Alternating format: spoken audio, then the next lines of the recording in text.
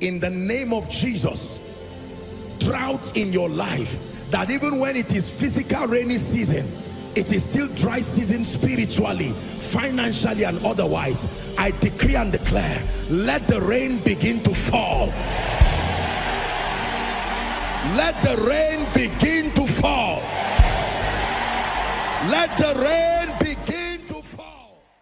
you're welcome to another spirit-filled message on Christocentric message. If you're new to this channel, I would entreat you to hit on that subscribe button and then to like this video. As well, I would want you to share this message across because we believe that as this message is coming forth, it's going to bless you. Or graces are going to be imparted unto you and then God is going to visit your home. Thank you for watching. Stay blessed. Are you praying?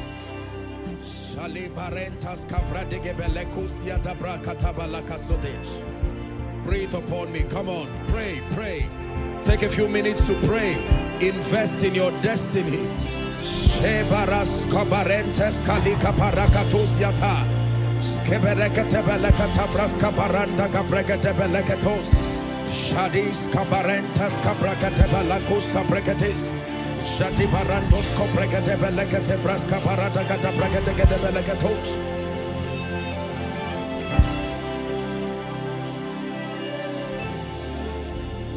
Sabedende ge baratush kabrate ge balakus sabrande ge bada.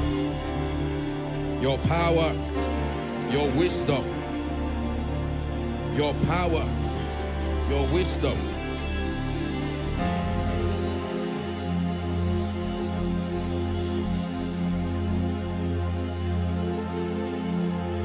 Sabratiki balakush sabrande ge beletus. Hallelujah. Hallelujah. I want you to not casualize the presence of God. Every time we find ourselves in an atmosphere like this, it is important that you connect. It is important that you soak in that glory. If this is all we do tonight and we return, it was worth our time. Let your power, power to prosper, rest on me, rest on me. Let your power, power to prosper, rest on me, rest on me. Oh, oh, oh rest on me. Oh, oh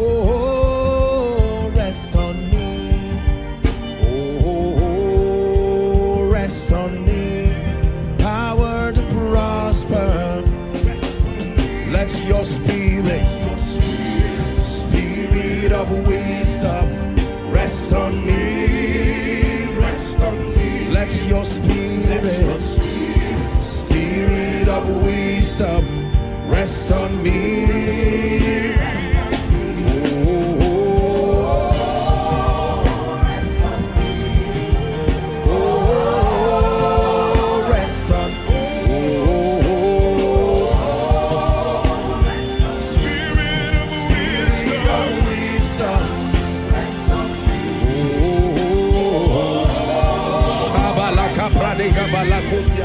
Oh,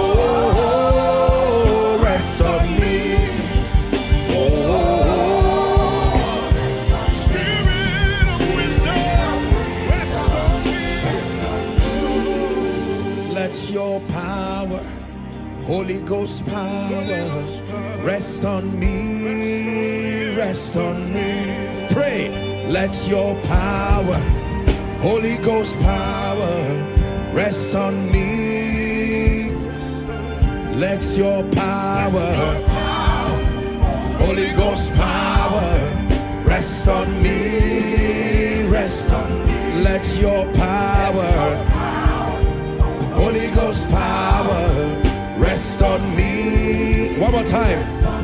Let your power, Holy Ghost power, rest on me.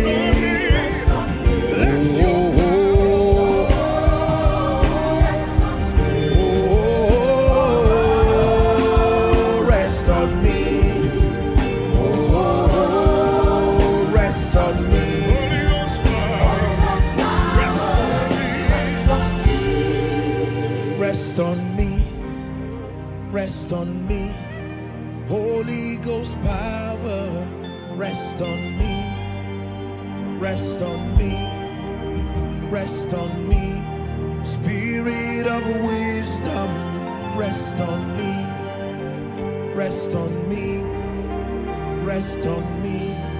For signs and wonders, rest on me, rest on me, rest on me, rest on me, rest on me. Lord, rest on me, rest on me. Prophesy, rest on me. Oh, rest on me, rest on me, rest on me. Oh, rest on me,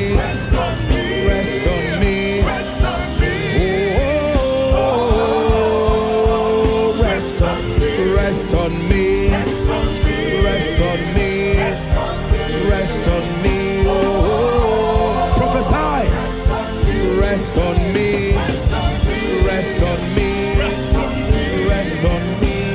Oh, rest on me, rest on me. Rest on me. Oh, rest on, rest on me. Alebash kaprandege balakosiata. Oh, Let your spirit of wisdom, rest on me, rest on me.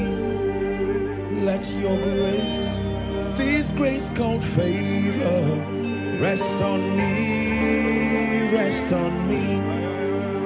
Let your power for signs and wonders rest on me, rest on me.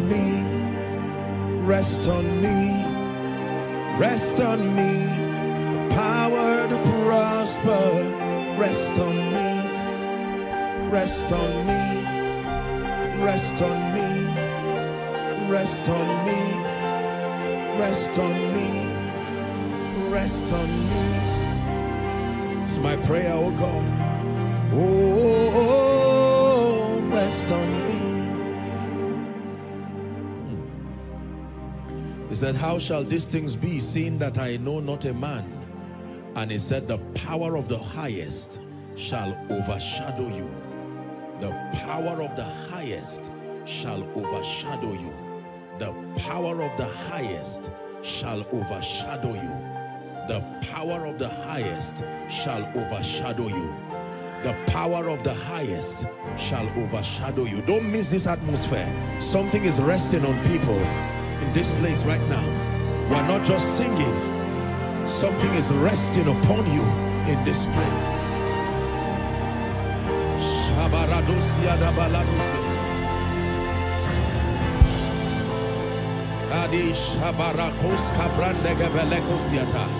Something is resting upon you. I sense a very strong anointing. Rest on me. Rest on me. Oh, oh, oh. Rest on me. Rest on me. Sabalaka beleka palata. Yes, the spirit of wisdom resting upon you. This grace called favor resting upon you. The grace for speed resting upon you.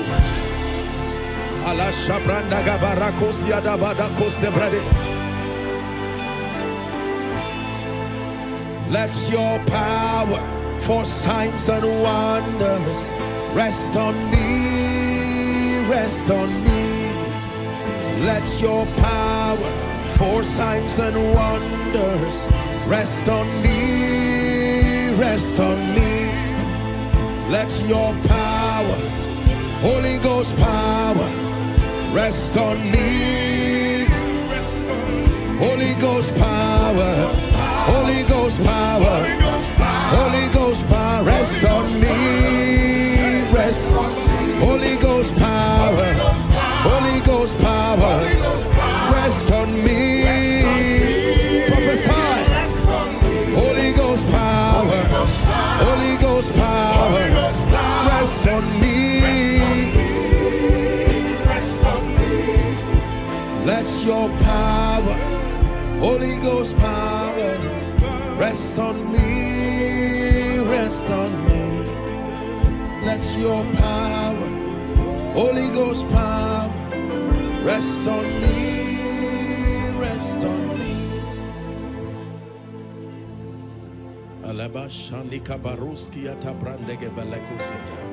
Take a minute and pray. Don't waste the atmosphere.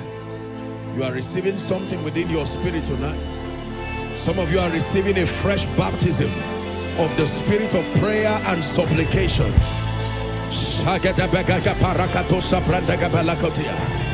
Receiving a fresh impartation of the grace for visions and revelations. The eyes of your understanding being enlightened. Some of you are receiving speed, speed to your life, speed to your destiny. No more delay, no more stagnancy.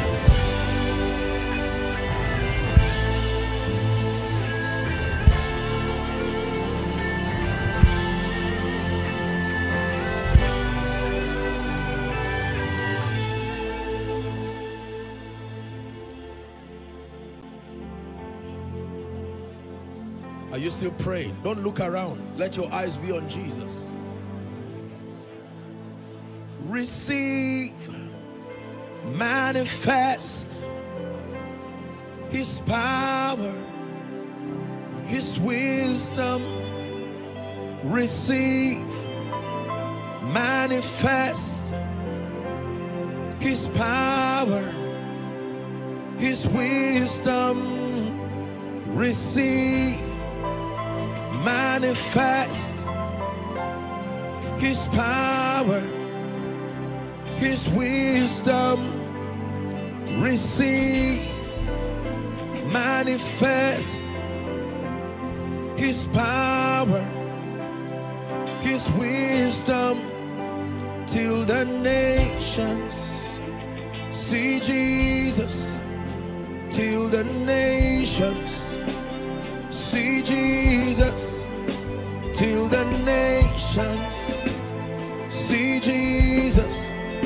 Till the nations.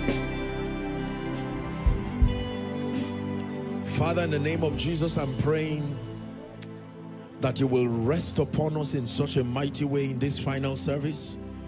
We have come with hearts hungry and thirsty. We have come determined to receive from you.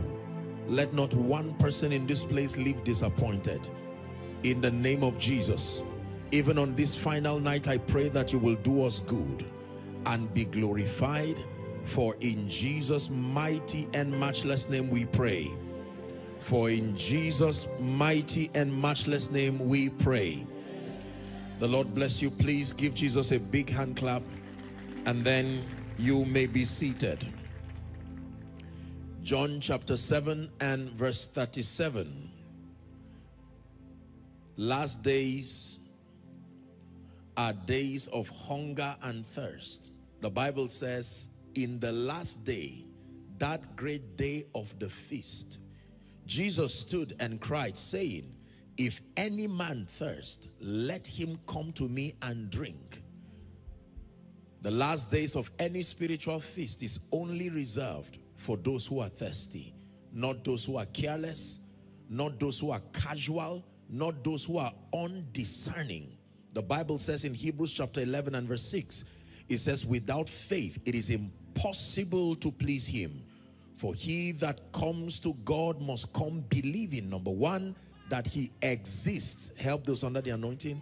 And then number two, that he's the rewarder.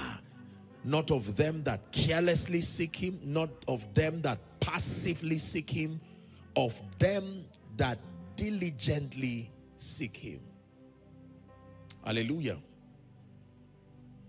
It's important for us to appreciate first and foremost the faithfulness of God over this place, over this land, over Koinonia in Zaria. And in one minute whilst you are seated, I want you to say, thank you, Jesus. Let him know that we acknowledge that he has been faithful over our lives. Go ahead and thank him for January, February, March, April, May, June, July, August, September, October, November, December. It is his faithfulness. Go ahead. Tell him thank you in one minute for sparing my life. This is where many of us started from. And today he's exalted himself in our lives. Go ahead and pray. Someone is saying, thank you, Jesus. Say thank you to the lifter of men. Say thank you to the opener of closed doors. Say thank you to the one who shows men mercy. Say thank you to the one who grants men access to superior spiritual power. Say thank you to the one who is the fountain of wisdom. It is his, in his light that we see light. There are things men cannot do. Nicodemus came to Jesus by night and said, Rabbi, we know that thou art a teacher sent from God. He said, for no man can do these miracles which thou doest except God be with him. Koinonia, are you saying thank you? Hallelujah. It is a good thing to give thanks to the Lord. It is a wonderful thing to acknowledge his faithfulness. One of the reasons why people experience the hand of God and then for a long time they don't seem to see him manifest again is because they take his faithfulness for granted. We usually become careless and casual over the workings of his hand in our midst. He said, if the Lord had not been on our side, now may Israel say. The psalmist said, I lay me down and I slept. He said, I waked for the Lord sustained me. Hallelujah. And so we give God thanks for his faithfulness over our lives as a ministry and particularly here in Zaria. My final charge to us as we pray is a prophetic instruction. Most people do not understand the value of instructions. In fact, let's look at um, 2 Peter, 2 Peter chapter 1. I believe it's verse 12, 2 Peter 1 and verse 12. It says, Wherefore I will not be negligent to put you always in remembrance of these things, though ye know them, and be established in this present truth. He says, as a faithful shepherd, I will not be negligent. That means it is carelessness to not remind God's people of the things that keep them in place, keep them in power, keep them enjoying the grace of God. Tonight, my charge to you is a repetition of the things that you have heard again and again. While I was going through my notes, just trying to piece together the things that I would share, the Spirit of God drummed this scripture, just came as a piece of it. I will not be negligent to not put you in remembrance of these things. Because believers must be reminded. In the nation of Israel, you will find out that oftentimes Moses would put the people together and he would make them to swear and to make certain vows that they would not serve other gods and he will build a monument. He will put something there that would remind them. And he will say if your children ask you why are we having this feast? Or why are we observing this? Then you would tell them it is on account of this and that that the Lord did. It is a terrible thing to forget the faithfulness of God. It is a terrible thing to forget his ways because the secret of the glory of God is the knowledge of his ways, the knowledge of his patterns. The secret to accessing and manifesting the glory of God in the life of any individual, listen to me, the secret lies in number one, knowing his ways, understanding and engaging his patterns. You want to see the glory of God in your life? You must find his ways and then you must find his patterns. That should be Exodus 33, I believe, verse 15. Please give it to us. Exodus 33. And he said, uh, verse 13. Let's go to 13, then we'll jump to 18. Now, therefore, I pray thee, Moses is speaking now, if I have found grace in your sight, show me now thy way. That was his first request. By the time we go to verse 18, he now says, show me your glory. So the glory of God is connected to the knowledge of his ways. If you do not know the ways of God, you cannot experience his glory. Leviticus chapter 9 and verse 6. It says, This is the thing that the Lord commanded that ye should do, and then the glory of the Lord shall appear unto you. It is always there. The whole earth is already filled with his glory, but the knowledge of it, the visible manifestation of that glory comes on account of knowing what to do. Hallelujah. I want to give you a few instructions. Prophetic instructions are very powerful. I think it was God's servant Bishop Oyedepo that said that um, we walk by common sense. We run by principles. But he said we fly by instructions. You do not call a pilot a driver.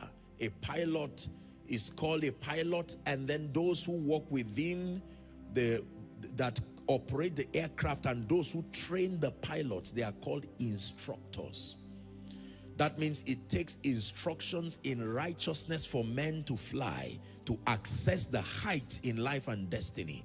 That should be Proverbs 1, I think verse 7 Give it to us, please. The Bible says, fools despise wisdom and instructions. Yeah.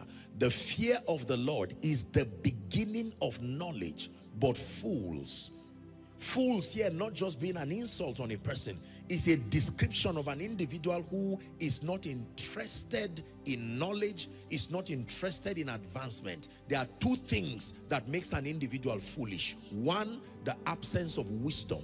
Number two, the absence of prophetic instructions.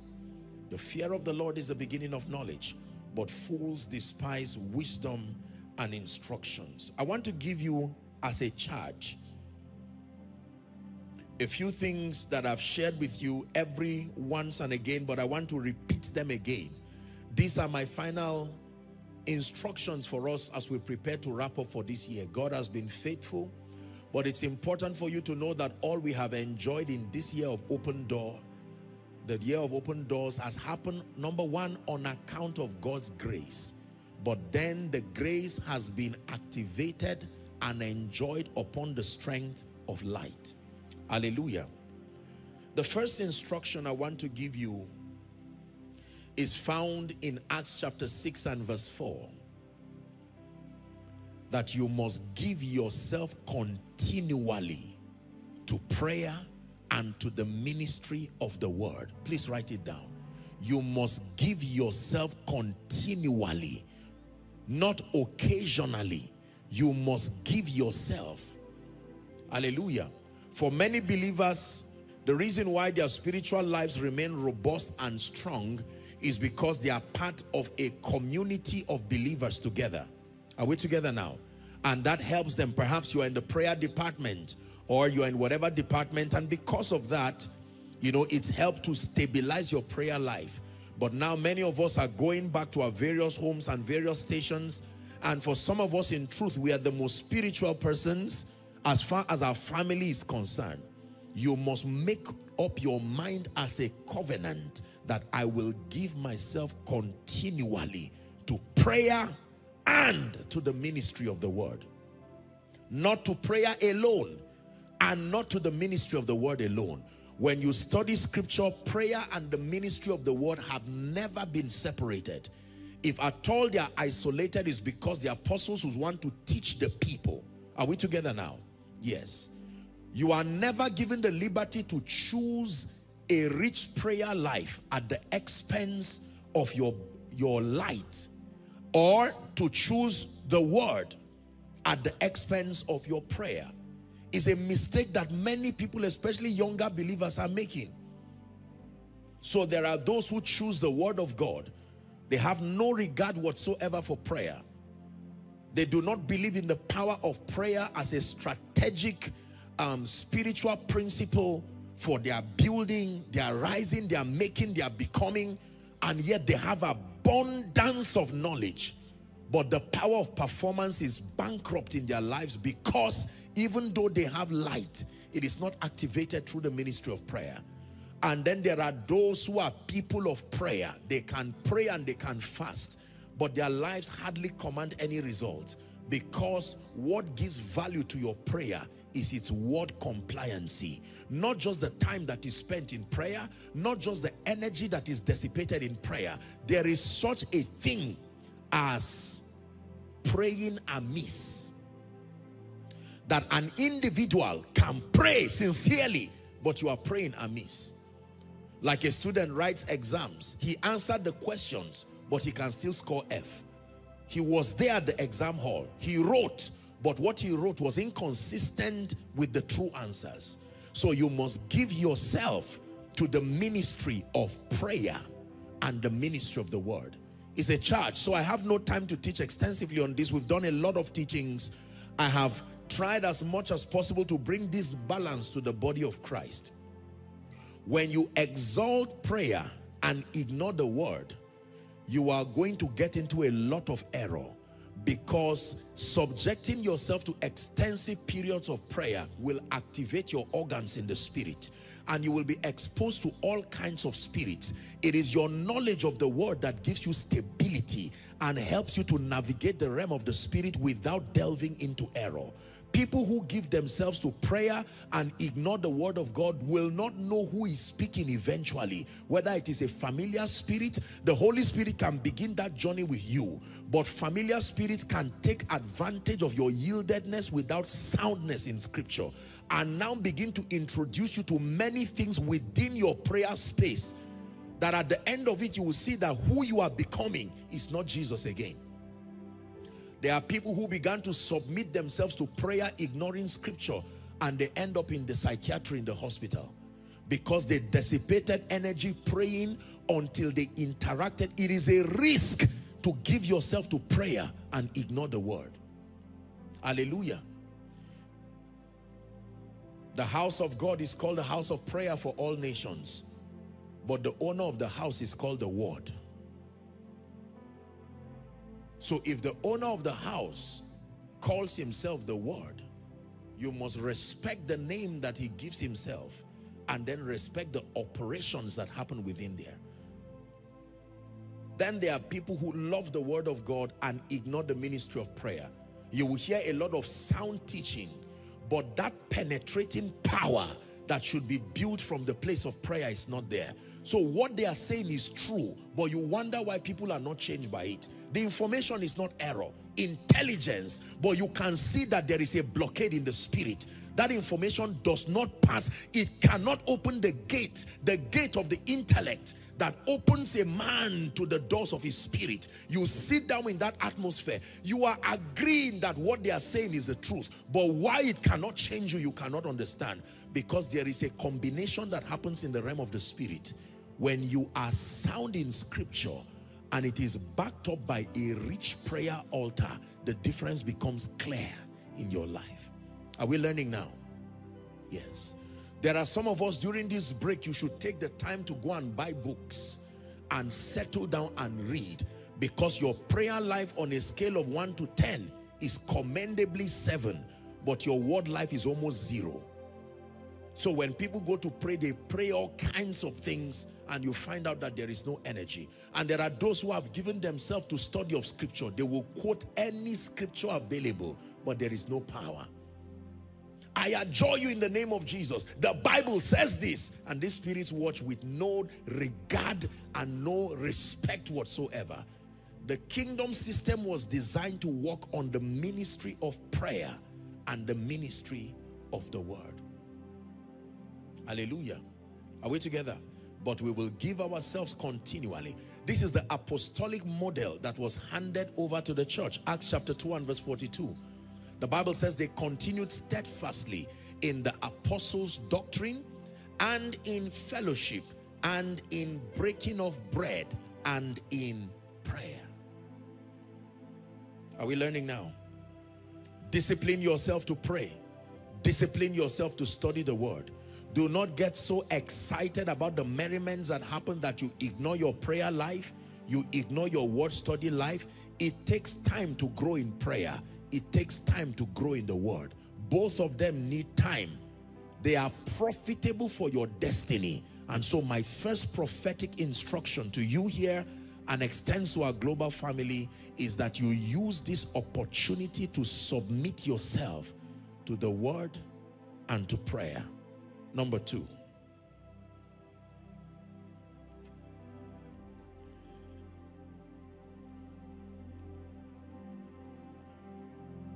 The second area that has been a concern for me and many believers have not paid attention to that area and I want to give you as a prophetic instruction is return after today and begin to invest in your health and your well-being.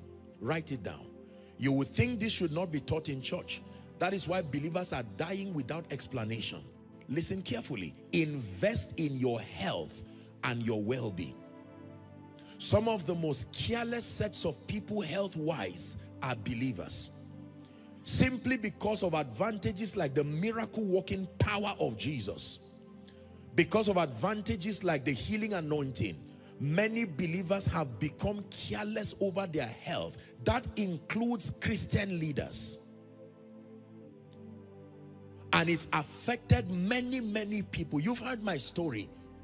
It's not that I particularly had any sickness or any infirmity, but I usually when I have my retreats, I gauge my life across a number of indices and I've taught you and I found out for three years in a row, the worst performing area of my life in terms of my intentional investment was my health. Because of the nature of my work, there was no, and it, it was not lack of finances, it was just lack of interest. Perhaps because of that press for spirituality, I didn't come to terms with the fact that I needed to take my health and my well-being seriously. Hallelujah. And the Holy Spirit gave me deliverance that night with one scripture. A body has thou prepared for me. This body must be prepared to host your spirit. Are we together? It is your responsibility. You can change clothes. If my if this cloth gets torn or old, I can throw it away and bring another one. Am I right on that? Ladies, you can change your hair. If you don't like the one you are wearing, you can throw it away, put another one. Gentlemen, you can barb your hair and then another one hair will grow again. But this body you are given is the only one you will ever have in your lifetime. Are we learning now? Every human being is only given the gift of one body per lifetime. Lifetime is the time period between the moment you are born and the day your body can no longer take your spirit or the day your assignment is over or the day you are killed by ignorance. In any case, whatever brings a separation between your body and your spirit, whether prepared or not, brings the frame of your lifetime. There are many believers who are careless. I made up my mind at that point that I will pay attention to the things that get into this body. Then the Bible now tells you that your body, not just your spirit, is the temple of the Holy Spirit. Hallelujah. There are many people, by the time you are moving into a new house, sometimes you insist that the landlord has to fix a few things to make sure the house is conducive. Are we together? You check whether the toilets are working. You check whether the kitchen water is flowing. And then when that is done, you can pay and then move in. We do that to structures that can be demolished within minutes. How much more your body? Can I tell you, ladies and gentlemen, one of the ways you choose life is to live healthy. One of the ways you choose life is to live healthy. Take this as a prophetic instruction. I'm going to minister to the sick. I'll speak over your lives. But there is nothing wrong with some of you going to do a complete medical checkup. Do you know that doctors tell us that most people who begin to have sicknesses from age 40 down to 50, most of those infirmities started within their 20s. They ignored it because they still had energy to run around and jump around. It's the same carelessness we use for vehicles in Nigeria. A car can break down, you are driving and the exhaust is rolling on the ground. Provided it is moving, we just continue until the day it burns the owner and kills him there. And then so many people start saying things like Hakanea la Sharia and so on and so forth. Say in the name of Jesus. Shout it. Say in the name of Jesus. I obtain grace to invest in my health.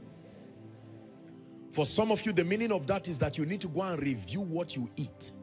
For some of you, the meaning of that is that you need to go back. And you know, thank God that God is helping to bring this balance to the body of Christ. For some strange reason, there arose a thought, especially among the Pentecostal charismatic circles, that once you are becoming spiritual, ignore medicine, ignore doctors. The moment you ignore medicine and doctors is a sign that the divine life is at work in you. I do not agree. There is a higher realm where you can live without those things. But our growth is gradual. Are we together? People grow into these realities. That is the ideal. That is God's standard for us. That we get to a point where your body is so immune, you do not even need to be a victim of all of these things. But until we get into that experience, we are changed. And while that process is on, God kept medicine to midwife as an instrument of his mercy while we grow. Imagine if they were not doctors. You know how many women would have died with their children? You know how many troubles would have come?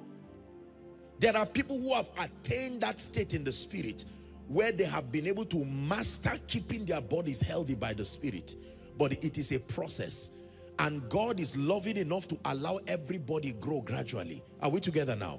So do not think it is unspiritual. If you find yourself in a hospital, you say, ah, I'm the leader of my prayer group. What will my people do if they see me here? They say, ah, MOG, you are here too to collect injection, take away all that, that ignorant talk and take responsibility over your body. Say amen.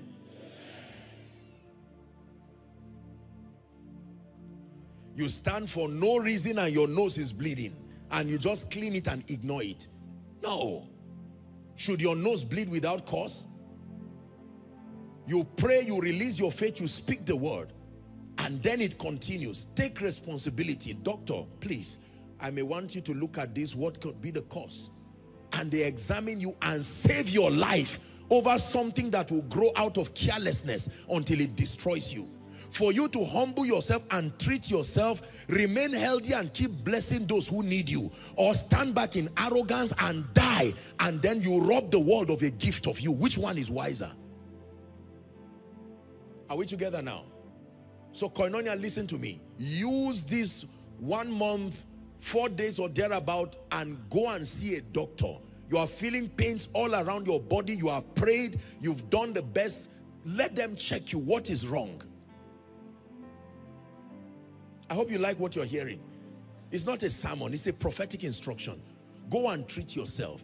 Even if you want to release your faith, let medicine help you diagnose what is wrong.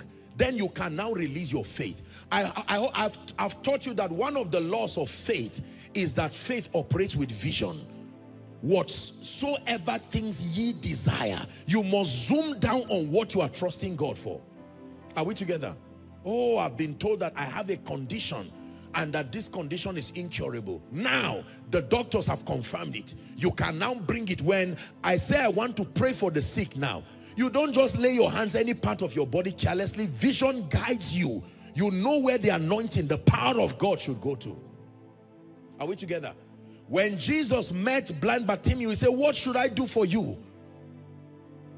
Maybe the guy was blind. I believe that that was just the highest problem, but not the only problem. A blind man who has been sitting down there must have other health concerns too. But his priority was to receive his sight. Are we together now? Yes.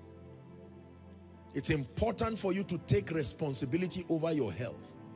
I made up my mind that this body as my commitment to living long, I will not be careless over my body. Do you know for not drinking sufficient water alone, you can die? I know you don't believe that till you die. You won't die in Jesus' name. Believers are careless and they like testing things until they die. There is something in the Bible called the death of a fool. Water, just the absence of water. It's not lack of finances. It's not lack of a fridge. It's not lack, it's just sheer carelessness. People go to the restaurant and all that is in front of them, there is no water there. And you know, sometimes, especially when we come from backgrounds of deprivation and suffering, by the time God begins to help you, that pressure to show that you have arrived. So you buy malt, you buy um, some kind of drink, Coca-Cola, and you buy whatever, three or four wraps of, of food and the soup and everything, and you eat everything there, and you don't work to justify it. There is a health advice in the Bible. He that does not walk should not eat. It's, it's an instruction to help your health. If you plan to be lazy, he's saying don't eat. Because if you eat without walking, it will do something to your body. So you, you gauge the kind of work you are doing first to control what you eat. It's a very powerful health advice. Because every time you keep eating without using the energy, the body, I'm not a medical doctor, but doctors will tell you, it is part of the things that cause a lot of problems for people. Please pay attention to your health. This pounding headache that is coming here and there, see a doctor. What is wrong? I'm going to pray for you. Are we together now? Yes. This situation you've been having, just like that, what could be wrong? Do you know for someone, just a supplement can be the miracle rewrites everything in your life. Supplement. One, good quality supplement. I'm saying it so that you will know this is coming from a man of God who works in the healing anointing. So you listen very carefully. Take responsibility. Say, I shall not die. Let the devil hear it. Say, I shall not die, but live. But you know there is a way you can live that is better to even be dead because every part of you is so deteriorated that you will pray for death. So while you are saying, I shall not die, you will change it now to but live in health. Not just but live. Say, I shall not die, but live in health and walk in health and remain in health. One more time, say, I shall not die, but live in health and walk in health and remain in health 27, 31, 35, 40, and you are looking as if you've given birth to the whole world and the whole burden of the whole world is on you. Stand up. Is taking you almost one hour. Parents and grandparents jump up with energy and you see young people just standing and stretching. You get up in the morning you struggle for 30 minutes before you get up from the bed. Come on. And you want to be a man of God. You even want to be a general overseer. No this thing requires energy. Oh. It requires energy. So go and pay attention to your health. Maybe this even a business idea God is giving someone now. Go and start making smoothies. Huh? Ladies, package it well. Don't serve it as if you are, you are, you are, package it with excellence and let people have something that can begin to help them. The wellness industry is much needed even within this end time. I'm saying it again, you will not die. Everyone here today, by next year you are returning. You are returning in health, you are returning with joy. we will never need to come to the hospital to come and visit you. I'm prophesying to you, if you like, receive it. If you like, don't receive it. In the name of Jesus Christ, I say it again, there will be no need for us to come to the hospital to visit you. And as I'm speaking already, any devil that is in your body that has not been planted by my God, whether it is manifesting as cancer, whether it is manifesting as, as whatever kind of satanic thing, by the power that raised Christ from the dead, this moment in this atmosphere, I curse that sickness forever. I curse that sickness forever. I curse that sickness forever. And for some of you who have these sicknesses as patterns within your family, that you see mama had it, your father had it, your siblings had it, in the name of Jesus from this night let it be minus you. Please be seated. So first instruction is to commit yourself to the ministry of the word and prayer. Second instruction invest in your health. Number three the third prophetic instruction that I'm giving you now is make new quality and godly friends Hmm. Make new quality and godly friends. Edit your relationships. There are people, let this be the last time they will be in your life. Yes, sir. They deserve to receive a goodbye. Based on the antecedents of their making you an evil person, they deserve. This is not about being good or bad. This is about your determination to go forward. Did you hear what I said? You've heard me in my teaching. If there are five foolish people around you, you did not count well. There are six people. And if there are five wise people around you, you did not count well. You will always be a reflection of the company you keep. And never say it does not matter. It is relationship that takes people to heaven. It is relationship that takes people to hell. It is that important. Everybody who is in heaven today got there as we know from scripture, because of their decision to receive the life of Jesus, their decision to take their relationship with him seriously. Hallelujah. He that walks with the wise, the Bible says, shall be wise himself, but it says a companion of fools shall be destroyed. There are many of you who love the Lord, but you are the most serious person in your company. Your company is full of drunkards, unserious people, now, don't hate on anybody, but it's important to love your future too much to not be derailed by careless people and visionless people around you. Just when you want to study here, they come distracting you again. They have no respect for the future you are building. They have no respect for the destinies connected to your life. They have no respect for what God is making out of you. They have no regard for your becoming. It is time for you to make new friends. If you do not have good friends, let me tell you how to make good, new friends. Number one, pray. Number two, become one who can attract such people to yourself. You cannot be a bad person and pray that God should bring good people. That's unfair. Why will somebody come and love something that you hate?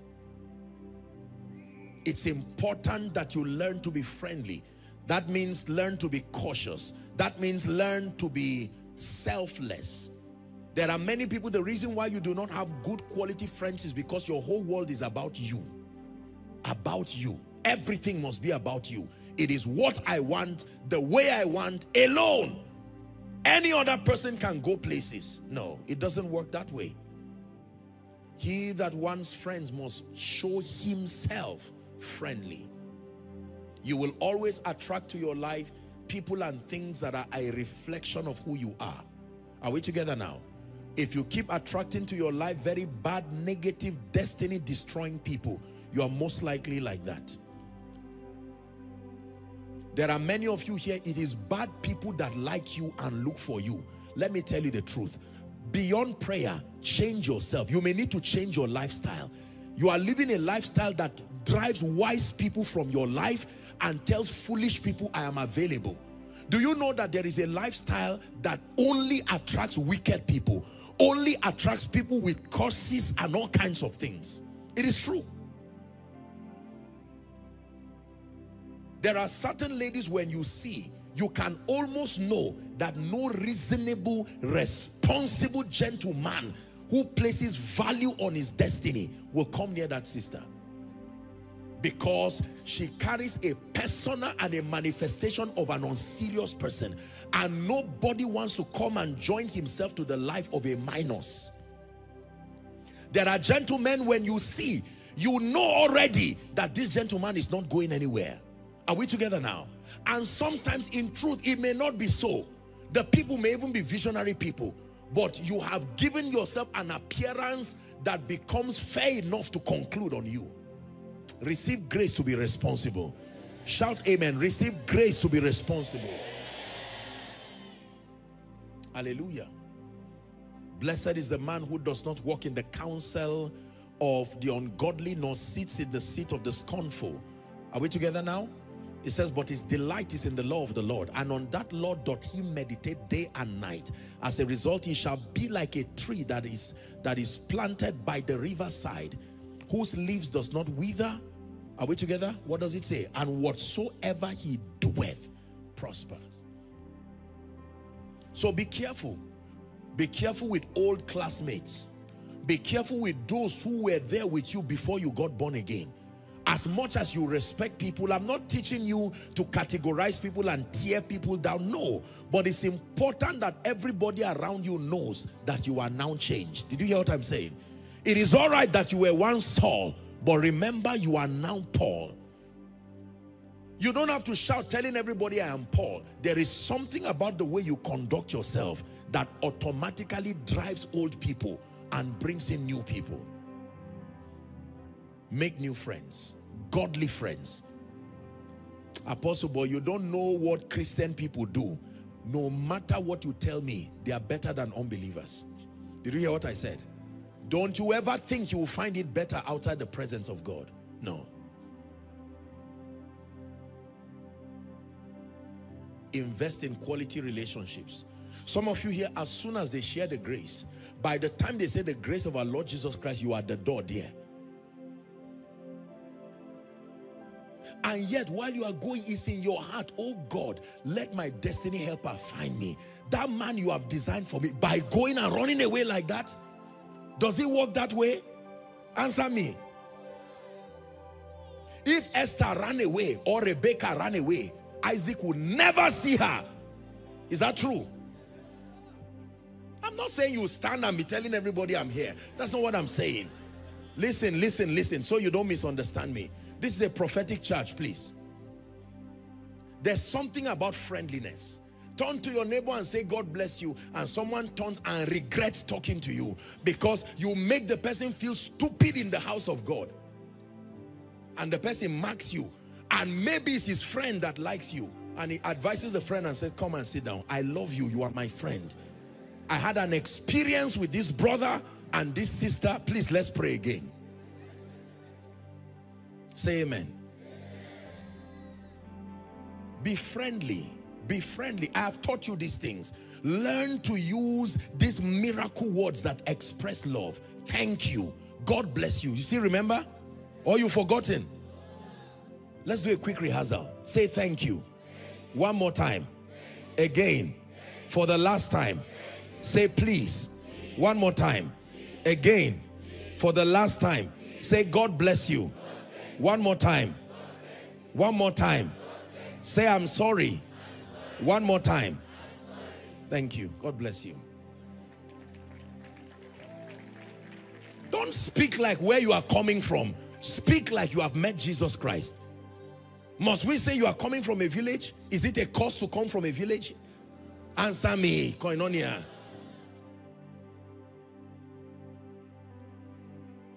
Behave like a Christian. Don't speak to people you are in church and somebody turns, please. You, you, do you know God, um, beyond even the issue of marriage, you can meet destiny helpers. Someone can look at you and because of good behavior, the person is already seeing a secretary. The secretary that is looking for and without any application. Some of you have not said thank you. People do nice things to you in your department, in the house here, Perhaps someone vacated a seat for you, just said, eh, and sat on it. Please change. You will not get friends like that. I hope you are learning. Yes. Turn to your neighbor and say, God bless you. Tell them thank you. Tell them please. Say I'm sorry. Your ego now will be strong for what? Say I'm sorry. Bah.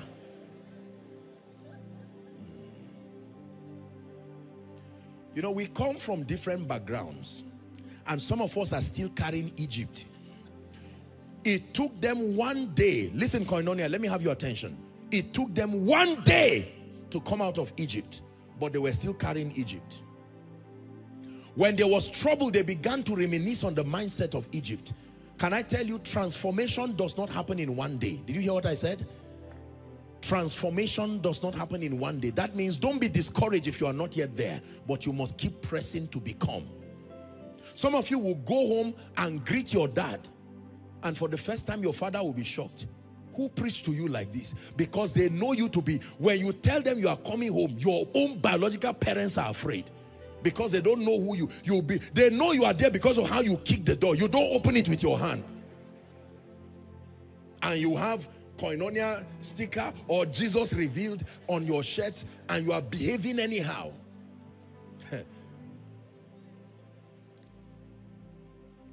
Are we learning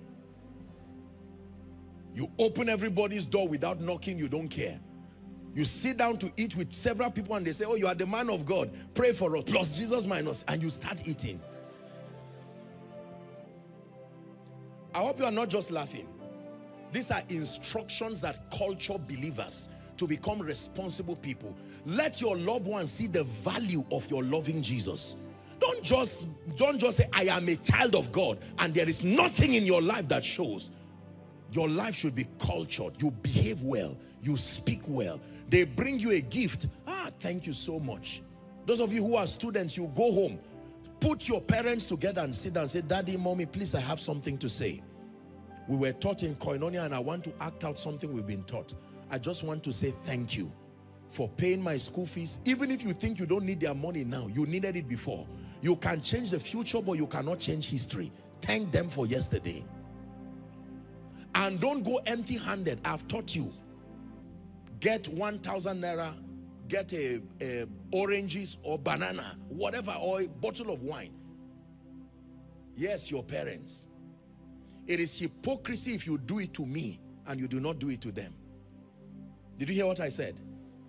Some of you can stand before me with anything. If you can even use handkerchief to clean my shoe that is not dirty. Your parents that are at home, you approach them and you are waiting for what they will give you. Please let there be a change as you go. Let them know. And for those of you who have not seen your parents in a long time, I don't care how much of an adult you are. Hear me. Go home. Did you hear what I said? Go home. Go and see them. Because many of those parents you see, very soon you will not see them again. I'm not a bearer of bad news. If you see your parents only once in two years, and they have 10 more years to live, it means that there are five more contacts with them and they will go to heaven. Except there is a reason that you cannot go. And where you cannot go, send them something that makes them know. Let their heart be at peace that God gave them a gift in a child. Are you going to do that? You try it and come and thank me by January. Don't be online buying things and, and doing this and your parents are there suffering. Some of your loved ones are in the village. They can barely eat and yet you see their children all over social media space wearing all kinds of things. No. By the time your life gets into trouble, all the sycophants who are hailing you, they will say, crucify him. It is these same people who say, there's nothing we can do. We love you whether it works or it does not work. One of the things I'm hoping that you will learn now and learn next year is compartmentalize your relationships. Not everybody thinks you are a big deal. Respect those who know your nonsense and still love you. Respect those who have seen the good and the bad and the ugly and love you with all their heart. And among many of these kinds of people, your family is most likely the people that fit that description. Don't generalize relationships. Don't put Judas and Peter in the same place. Don't put Thomas and Peter in the same place. Don't put Judas and John in the same category. That is not wisdom. Everybody cannot hold the same position in your heart. No. There are those who will run away in the place of pain. There are those who will run away the day the burden is on them. But there are those who will stay. Even Jesus showed that difference. Are we together now? So the third instruction, invest and make sure you invest in quality relationships, build relationships with your family members. Some of you may need to go back and tell certain people, I'm sorry, like I taught you. You have insulted your parents and the truth is that some of them, their curse and their ill speakings are on your head right now. Maybe you acted when you were not born again. Now you are saved. Don't let them die without making peace. Go and tell them, Daddy, I'm sorry. I was angry. Now I'm a child of God and I want you to know that I'm sorry. Can I give you number four? Number four. Ensure that you go for an end of year retreat. Please write it down. Ensure that you go for an end of year retreat. An end of year retreat. I'm not going to talk much about this because um, I want us to have the time to just pray and then we depart on time. But it's important. I have taught you koinonia. You know what a retreat is? Please look up. Let me have your attention. A retreat is a moment set aside to seek the face of God. A retreat is a moment set aside to appraise your life. A moment set aside to seek the face of God a moment set aside to appraise your life, appraise your destiny.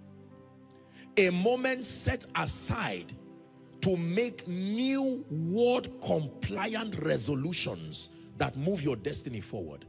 I honestly do not know anybody who makes consistent progress and does not practice retreats. That includes believers and unbelievers. They just call it different things but it is still a retreat. One of the factors that keep people floating and rising and thriving in life and in this kingdom is when they master the art of drawing back and staying. One of the major reasons why as a ministry, a man of God once asked me a question and said, Apostle, you're an interesting person. How does a ministry this size go on break? What if you resume and the people don't come back? You know, he was just being sincere. I mean, how does God honor you with such great people and then you give a global break as a ministry? That means from today, Friday in Koinonia Zaria, you're on break until I would tell you the date we're resuming. And the same thing will happen on Sunday in Abuja and we shut down. Only the online expression continues, but everyone is going. Do You know why? It is my commitment. It's a strategy God gave and we've kept it for a long time so that three things will not be missing in your life. Number one is your own life. Number two, God, the God factor. Number three, family. That is the purpose of our giving this break. That within this one month, because you spend the whole year walking, traveling, stretching yourself, there are people who have done church at the expense of their family, church at the expense of their rising, church at the expense of several other things. We believe in holistic development in this ministry. And this is the reason why we're going on break. So that you use that time to just rest, rejuvenate yourself, your health, use the opportunity to catch up with family, use the opportunity to build or rebuild your relationship with the Lord Jesus Christ again. Go for retreats. What do you do in a retreat? Thanksgiving. What do you do in a retreat? An honest appraisal a messless appraisal of your life. How did I live my life from January till December? If I have the opportunity to live it again, would I do the same thing I did? In the place of appraisal, there are many things you will do. Repentance. In the place of appraisal, there are many things you do. Reaffirmation of your values. In the place of, um, there are many things. That is the moment you flog it out with destiny. Oh, I was doing well up until March, until this friend came into my life. Now, you see, because you are with the Lord Jesus Christ, you will be naked and unashamed. Did you hear what I said? Yes, naked and unashamed. You are before your king, your maker. And then the next thing that happens is you begin to plan for your life, plan for the year coming. I'm summarizing retreat for you. You start retreats with thanksgiving, lavish thanksgiving, not five minutes thanksgiving. You are not hurrying anywhere. And then number two, appraisals. The various areas in your life, appraise them on a scale of one to 10. How was my prayer life? On a scale of one to 10, my commitment to church. A scale of one to 10, my financial responsibility. On a scale of one to 10, my health, my relationships, my job, my family. And then when you are done doing that, the next thing becomes planning and resolutions. How can I be better? A better me, a better preacher, a better father, a better husband, a better mother, a better sibling, a better believer, a better head of department, a better media personnel. How can I now live my life such that yesterday never repeats itself into my today? I'm showing you how to have a profitable retreat. If you do not do this, you are not truly, truly, truly an effective believer. And if you do not do this, you are not a true son and daughter in this house. The mysterious secrets that keep men is retreat. Show me a man whose life has been damaged to whatever degree. Let him get into the presence of God. He will come out like you did not, I mean, as if it's not the person again that washing of the word, that resolution, in his presence you will cry sometimes and say, Lord, this was the year I made the most careless financial mistake. You gave me one million this year. You gave me 500,000 this year. But this is the year that I wasted more than ever before. And when you want to feel condemned, the loving arm of your Savior now comes. And he says, don't worry. I am the God that will give you another chance again. But let's now begin to plan. Are we together now? Planning is very important. How will January be? How will February be? How will I design a prayer life system that makes sure that I'm on fire? Now that I'm becoming busy, how do I do this? Now that I'm a husband, now that I'm a father, the dynamics of living will change. Now that I used to have one child, now I have three children. Now I've been promoted to be a director. I don't have the kind of time I used to have five years ago. I need to reinvent my life. I used, I the last time I had retreat, I was 20. Now I am 40, 45. Days are going. I need to rearrange my life again. For some of you, it's in the place of planning that you will now learn that this my talking too much, I need to work on it. When I was a child, I spoke like a child. Now you have attained a position of leadership where your words are now expensive. What you said yesterday and went scot-free, if you say today, you will destroy many. So God begins to teach you. You see that now? Yeah. For other people, you just need to reinvent your life. Five years ago, you were not as wealthy as you are now. Five years ago, you were not a leader the way you are now. Now, God has been faithful. You reinvent your life.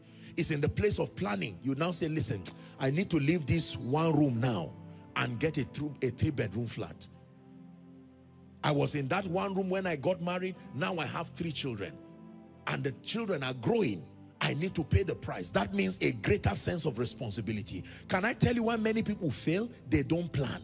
They just move around and whatever they meet, if they meet good luck, they say, thank you, Jesus. If they meet bad luck, they say it's the devil. Most people don't plan. Hallelujah. Planning is a very important aspect. I hope you are learning this night. Insist on planning. Koinonia, insist on planning. Write it down. How much do I plan? How much do I spend every week? Some of you don't know. How much do I spend every month? Some of you don't know. Anything that enters your account, you are spending. Some of you are already living your five years now and God has been warning you and you are not listening. That's the job of a retreat. It's a moment also to plan. Ask questions. Why do bad people come around my life? What drives good people from my life? Write it down. And as I'm talking of this planning, that also includes the children. Babies can be exempted, but parents and young people teach those who are under your care. If they are teenagers, if they can write letters to one another, they can plan. Hello? Yes, sir. Teach them. Teach them. If there is nothing to teach them, give them one verse per day. Let them get busy learning that verse while you plan. Show us the ancient path. Will you lead us along eternal highway? We want to follow the ways of Jesus. We want to enter your rest. Show us the ancient path. Will you lead us along eternal highway? We want to follow the footsteps of Jesus. We want to enter your rest. There are some of us is in the place of planning. You will know that God has been faithful. It's just that you've not been serious. God has been faithful. This year like never before, God opened doors. Truly, you just did not see it. This year like never before, everything God gave you, you destroyed because you did not learn anything. Now you go back, not feeling condemned, but start again, plan again. For some of you this year, you have to repent because you say, Father, you blessed me. But I nobody smiled this year because you lifted me. Not my parents, not my children. Nobody's school fees was paid. I didn't bring smiles and joy and laughter to anybody. This year was the year of myself. It must change.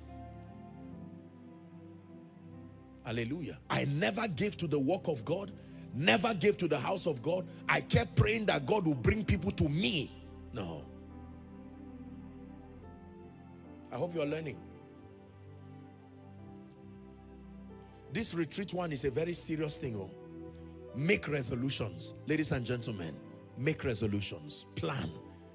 Ask yourself questions. Be honest to answer them. And then come up with very, generally you see, retreat should not just happen end of the year. I've taught you. You must create, it's your, it's your prerogative to create, you are at liberty to create whatever system of retreat you want. There are people who do at least one day or a few hours every week. There are others who do it at least once, twice every month. There are those who do it every quarterly. There are those who do it when certain defining seasons are coming to their life, like birthdays. They take the first three days, maybe three days to their birthday, and they have that time. But end of year retreats, because God fragmented our living according to times and seasons. Do not let new prophetic defining seasons enter your life. Let me tell you this. Maybe in the last 10, I hope I'm right. For God's sake, forgive me, oh God, if I'm wrong. 10 or 15 years, I think it's only once or twice, I did not enter the next year praying in tongues. And I remember the year, maybe two or three years ago, that was when it happened. And it was because I was counseling a few people. I didn't even know that we had entered the next year. But ethically, I enter every new year praying in the spirit. From the end as I'm approaching the end of that year, I'm firing on all four cylinders in the spirit. By the time I enter the new year, I'm praying in the spirit, calling the months by name and praying, praying for you. And I found out it's a powerful spiritual uh, strategy. Some enter the year sleeping, some enter the year drinking. How can you enter a year that you have already seen what is happening around the globe? and you are not spiritually minded. So make this year different. The prophetic word for next year will come by December, December 31st, 6 p.m. Nigerian time on the dot. Go to our social media pages and the prophetic word for the next year comes. As soon as it comes, you are prepared to begin to pray.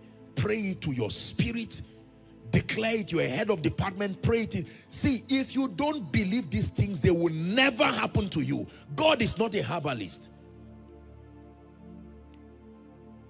by the grace of god i'm the one who god uses to bring these prophetic words but it is still not an excuse. When i receive it i pray i wish one day you can watch me when i'm praying on these prophetic words. You will think it was someone that told me. Because being that it was you that received it does not mean it will work in your life. If you don't believe it and engage it by faith, you will be surprised that God will speak through you. Others will be blessed by it. But you, the conduit, you will not be blessed by it. Hallelujah. So position your spirit. 31st December. As soon as you receive the word, Father, thank you. This is true for me. You pray the scriptures and God who sees what you are doing in secret will reward you openly. This is how it works. Let me give you number five. I said this one last year and I want to repeat it again. The fifth prophetic charge that I'm giving you you must share the love of Jesus with someone. Be a soul winner. Be a blessing. Transform someone's life. Insist on sharing the love of Jesus with someone. Most believers do not know that we have a mandate under God to see that the nations see Jesus. We sing it through our songs here, but I am praying that it becomes a revelation that Jesus revealed, Jesus glorified is not just a ministry cliche. It is a, a capture. That is what we, is why we exist. If you take that out of koinonia, then everything is just showmanship. The insistence to see Jesus revealed, the insistence to see Jesus glorified. That means for some of you here, within this one month, God is going to be giving you mini mandates you will go to a place and you'll find out that nobody is praying in your locality and God will put a burden in your heart and say, two of you, organize one day program here. It may be a small program and nobody may know. You don't have to go and market it. It doesn't need to have a ministry name. An opportunity for Jesus to be glorified. Some of you may gather the children within your area and locality and with the little that you have, a little gift pack for them. Sit them and talk to them about Jesus. Get them to be saved. Don't say they are too small. You see a lady of four years and they tell you she's in the occult. And the girl will tell you I've been killing people. So what is small about her? The love of Jesus. As a ministry, we continue to do our bid. On Tuesday was the welfare outreach, you know, and the medical outreach. All of these things are done to share the love of Jesus. There are many more families. We make sure that as much as possible, we help people see. And this has nothing to do with religion. We bless everyone together because we let them know that we are a people of love. Don't go back home and be a liability to people. Don't go back to your station and be a liability. Some of you fathers, you've never gathered your children. Let this be the opportunity that you try it. And when I talk of children, don't say I don't have children. Everybody under your care is your child. Take responsibility over them. If you cannot manage another person's child under your care, you cannot manage your own biological child too. Are we together? Gather everybody and have a Bible study with them one day and say, listen, all of you who are under my care, we're going to study scripture today. Begin by asking them questions. What are your plans for the next five years? You hear all kinds of things there. Once you are done hearing, say, okay, sit down. Let me teach you. Invest in people's minds. For some of you, you can put these koinonia teachings together in an MP3 and give it to someone as a gift. And say, my brother, or select three or four messages that apply uniquely to their situation. You've seen someone confused, hustling through life, trying to make it by crook or by hook. You get teachings like lessons from an overcomer. You get teachings like what seest thou? You get teachings like the law of seasons and you can tell that person, please, I want you to listen to this. You see someone who is acting confused. Give the person the mentality of a victor. Exceeding great and precious promises. Believers that are going through all kinds of tragedies. You don't know how to preach. Give them the teaching, the afflictions of the righteous. Let them understand that the Bible says, count it all joy, my brethren, when you face diverse temptations, knowing this, that the trying of your faith worketh patience. You may not be a preacher, but you can be a blessing. Connect people to truth. Help them to know. Help them to learn. Are we together now? Yes. You can buy a Bible and give someone Don't go around condemning people and say, this person, you are a useless child, you are a wayward child. That's why God showed you. When God shows you people's problems, it's because he trusts you to help them. Not just to talk about it and destroy them. Are we learning koinonia? You must share the love of Jesus.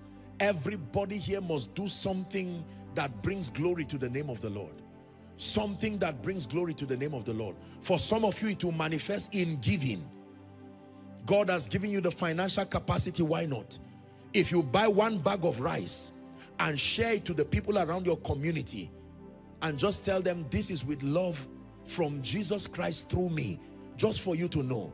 For some of you, you may not have that, but if you gather three young men that you see the potential in them, that these three gentlemen will most likely be men of God in the future, and you gather them, and you use your one month stay with them, and say, you know what, we're going to have one hour every day for one week.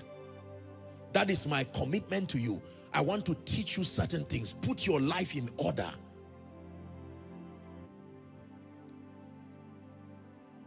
You must share the love of Jesus with everybody around you. Everybody around you. They must know you are a child of God. They must know you are a Christian. Are we together? You must do something for Jesus. Do you know, ladies and gentlemen, one day we will all stand before this Jesus we're talking about. And I'm praying for you that the day you stand there, you will not be ashamed because it will be that, okay, now that you were saved, what did you do with the grace I gave you? What did you do with the anointing I gave you? What did you do with the wisdom I gave you? And you say, oh Lord, I was focused on myself. All I wanted was my job. All I wanted was increase, promotion. You will get that. They are called his benefits.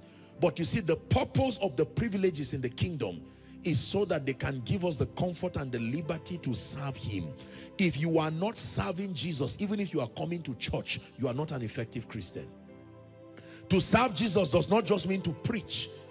To serve Jesus means that everything that will help the nations to see him revealed and glorified, that is within your capacity, you become an active participant to making that happen. Is it your seed? Why not? Is it your prayer? Why not? Is it sharing the love of Jesus? Why not? Is it wiping the tears of someone? Why not? Is it being a, a midwifing someone in the midst of their pain? Why not? Is it rebuking and correcting someone in righteousness to, to square up their lives? Why not? There is always something you can do. Hallelujah. I'm challenging you right now so that you don't sit down and wait for people to keep giving you things. From January till December, week in, week out, you have received the word of God. Don't waste the anointing you have received. You did not fall down and stand up for nothing. There are some of you, you fall down for every service, and yes, you have not used that anointing. Every time you fall under the anointing and stand up, you should ask yourself, what happened? Huh? What happened?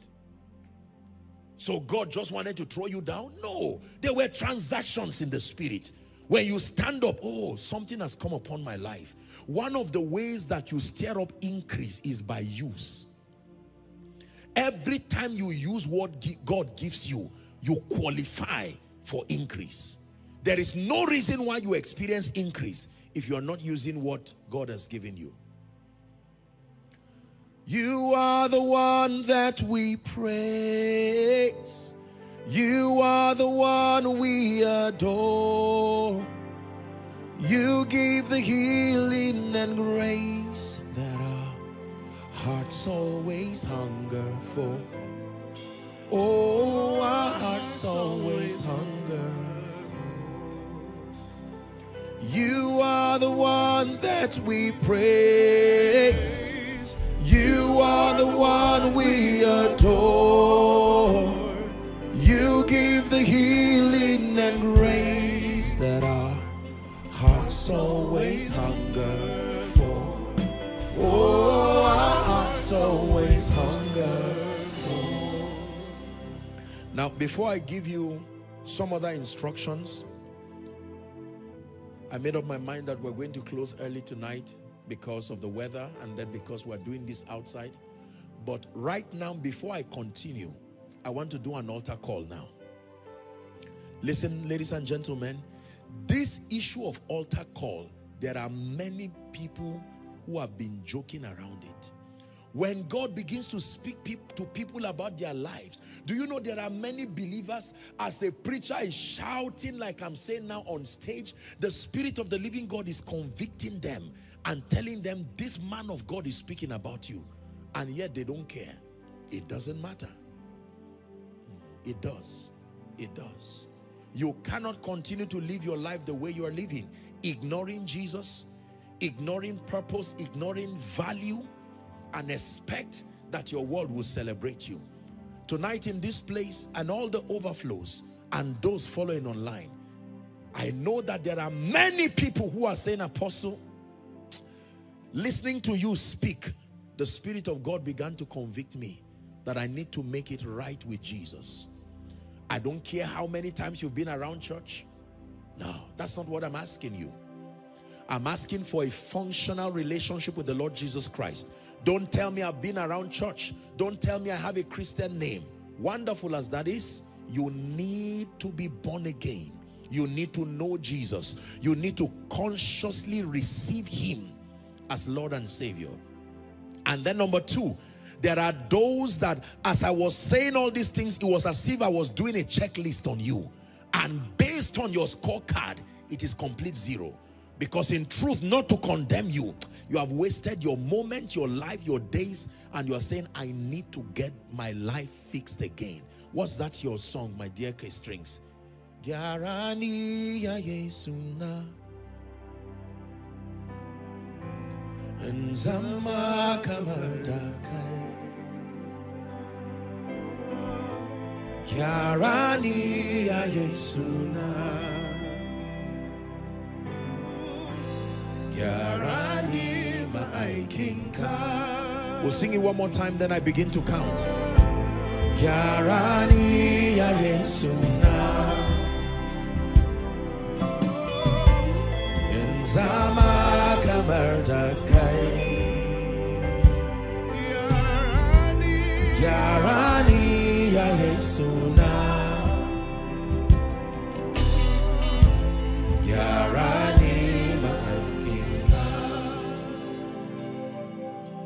You're saying apostle and hearing you speak the Holy Spirit is talking to me. God is reaching his loving hands to someone right now in this final service and saying, I want to give you a chance. Don't look at yesterday. It doesn't matter what has happened or not happened. You can make a decision tonight, right now, and say enough is enough. Now is the time to begin to love Jesus. Now is the time to become a superior version of myself. I'm going to count one to five. Whether in this auditorium, this this outside the overflow three or around the auditorium there or all the overflows as I count one to five I want you to leave your seat. I will allow you to come to the front here here the green area here or any of those places. Just or you can come walk around to the front here. As I count one to five make sure you don't sit back when you know the Lord is asking you to come. And for those who are in the overflows because except here is full I want all of them to come to this the overflow three here. Where we're using I want them to come. Allow them if they're coming. If it gets filled then they can move to their screens. I'm counting one to five. And make sure you don't wait for someone to be the first. This is a personal affair with the Lord. Are you ready now? One.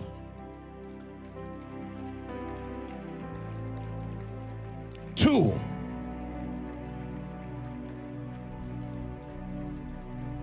Yarani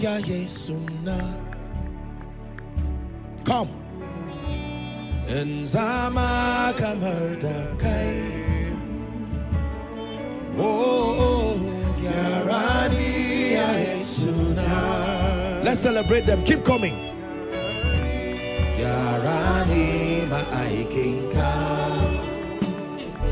Yarani eh. Run to Jesus. I'm ready to start afresh.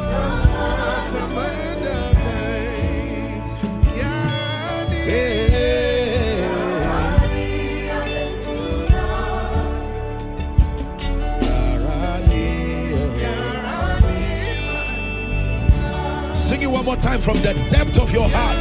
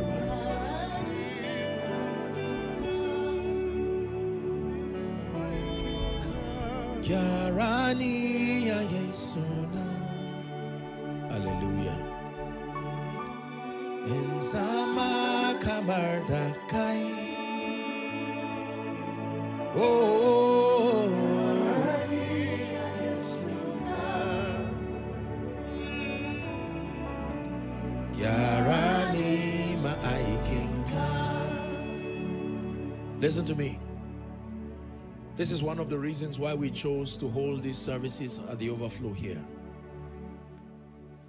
Because it was my prayer and my plea to God that we present a harvest of souls unto Jesus as that one gift as we wrap up the service for the year. My brothers and my sisters, I want you to listen to me. There comes a time in every man's life where you are given the liberty to choose between Jesus and with Jesus grace, with Jesus wisdom, with Jesus a better tomorrow, or you ignore Jesus and make up your mind that I will live my life. Nobody will force you, you see. This is the wonderful thing. There are people who woke up on earth today, but right now as I speak to you, they are in hell. Do you know why? They used their will to reject Jesus and God respected it. You are coming out here because number one, the Lord Jesus Christ brought you out here. But you are coming out here to say, Lord, I cannot help myself. I cannot help myself. I've tried and tried and tried.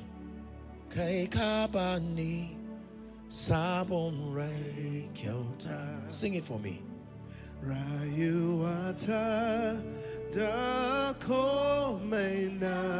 Ya Yesu nakane dunakane. harabata. This is the life that Jesus wants to give you. And for many of you who are here, if you will, you can come out here and not be saved because you just came as a ritual. But I want you to mean it from your heart. Are we together? I'm going to lead you to pray. For my little children here, look, listen to me. You are coming to Jesus. You are not too small to start afresh with Jesus. Lift your right hand, all of you. Lift your right hand high above your head as a sign of surrender to Jesus. Please say after me as loud as you can and mean it from the depth of your heart. Say, Lord Jesus. One more time, say, Lord Jesus, I love you with all my heart. I believe that you are the Son of God. I believe that you died for my sin. I believe that you rose again for me. This night, I make Jesus my Savior, my Lord, and my King. I declare that the power of sin, Satan, hell, and the grave is broken over my life. From tonight, I am a child of God and I go forward ever and backward never. Amen. Keep your beautiful hands lifted. Father, thank you for these lovely people young and old, male and female, mothers, children, senior colleagues, contemporaries, all together, they have come standing before you to declare your lordship over their lives. I thank you, oh God, for bringing this many to yourself. And then I pray, oh God, in the name of Jesus, that as a result of these declarations of faith, I declare that their sins are truly forgiven in Jesus' name. And I pray for you that the life of God rests in your inside and you begin to live a victorious Christian life from, from today. The power of sin, Satan, hell and the grave is broken over your life. And I speak to you in the name of Jesus Christ that you keep going from glory to glory, grace to grace. In Jesus' mighty name we pray. Now, there are a number of you here and usually what we do is that when we make the altar call and people come out, I'm going to ask all of you, um, let someone stand here and here so that we don't congest the space.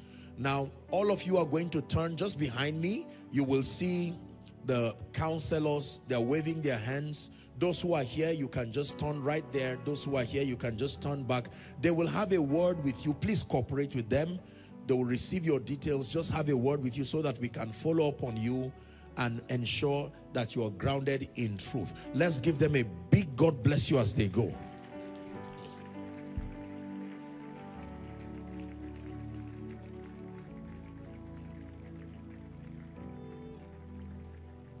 Hallelujah.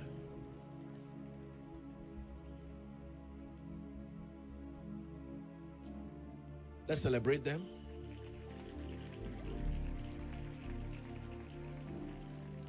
Now we're ready to pray. Oh God of signs and wonders, Savior, Redeemer, come and manifest your power.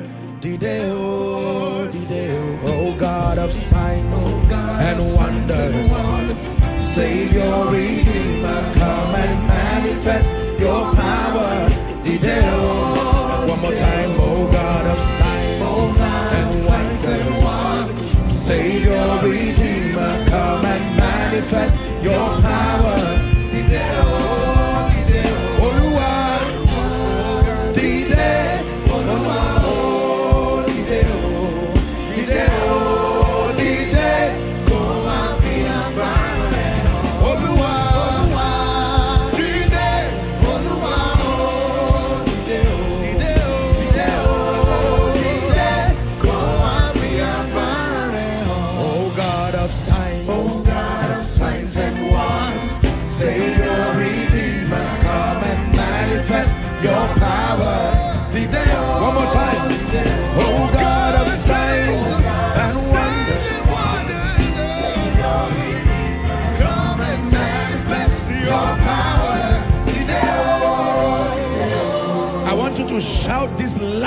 From your spirit. Say, Father.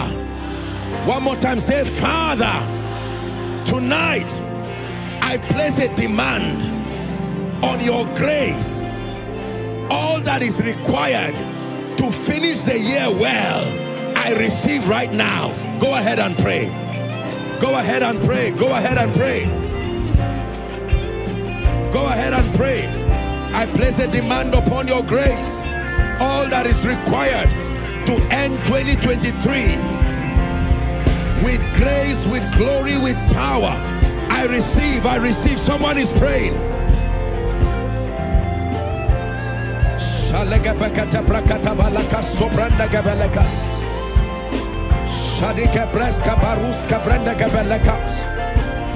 All that is required. All that is required.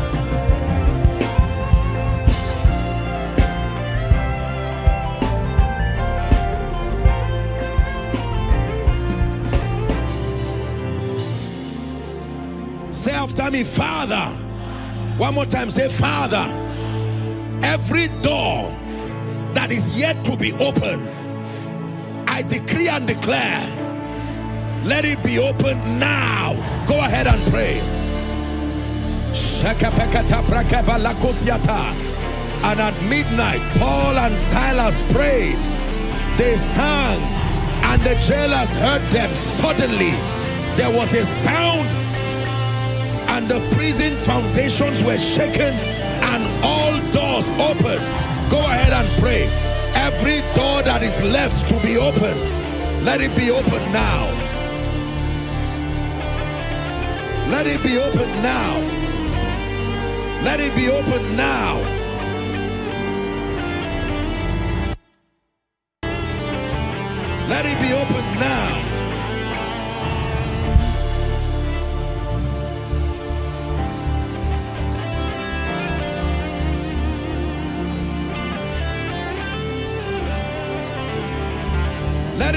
Now.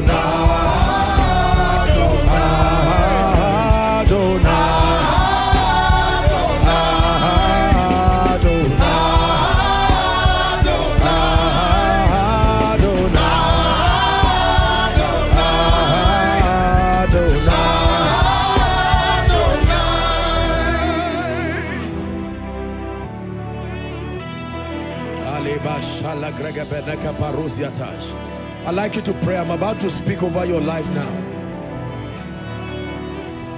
Everything that is yet to crown my year with glory and honor, I place a demand. There are still a few days before the year is done. Come on, go ahead and pray. In one moment, God can crown your year. In one moment, He can take away shame. In one moment, He can take away disappointment.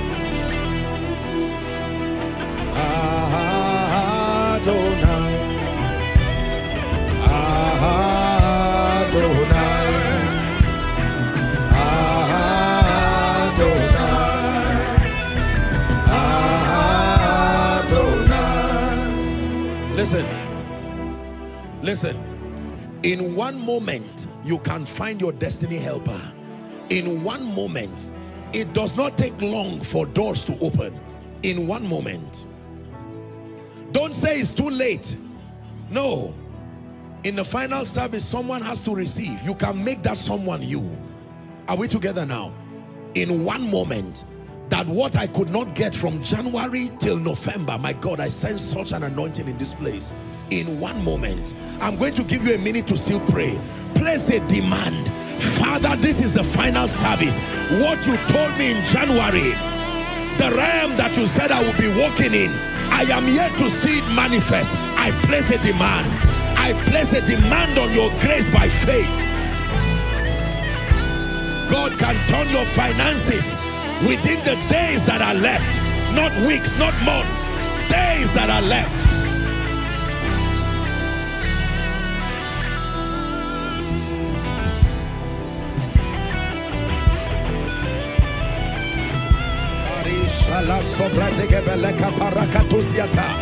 In one day, God can rewrite the story of your family. In one day, God can redefine your life again.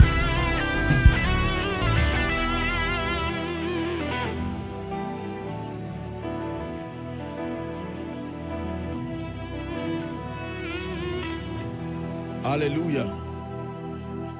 Hallelujah. Hallelujah. Why do we take our time to pray and speak over people? Because you see, prophecy is very powerful. Impartation is not just about falling down. I have taught you this. Impartation is about opening up your spirit to access the graces that empower you to rise, to thrive, to excel. We are made by the graces that rest upon us. This is what makes men.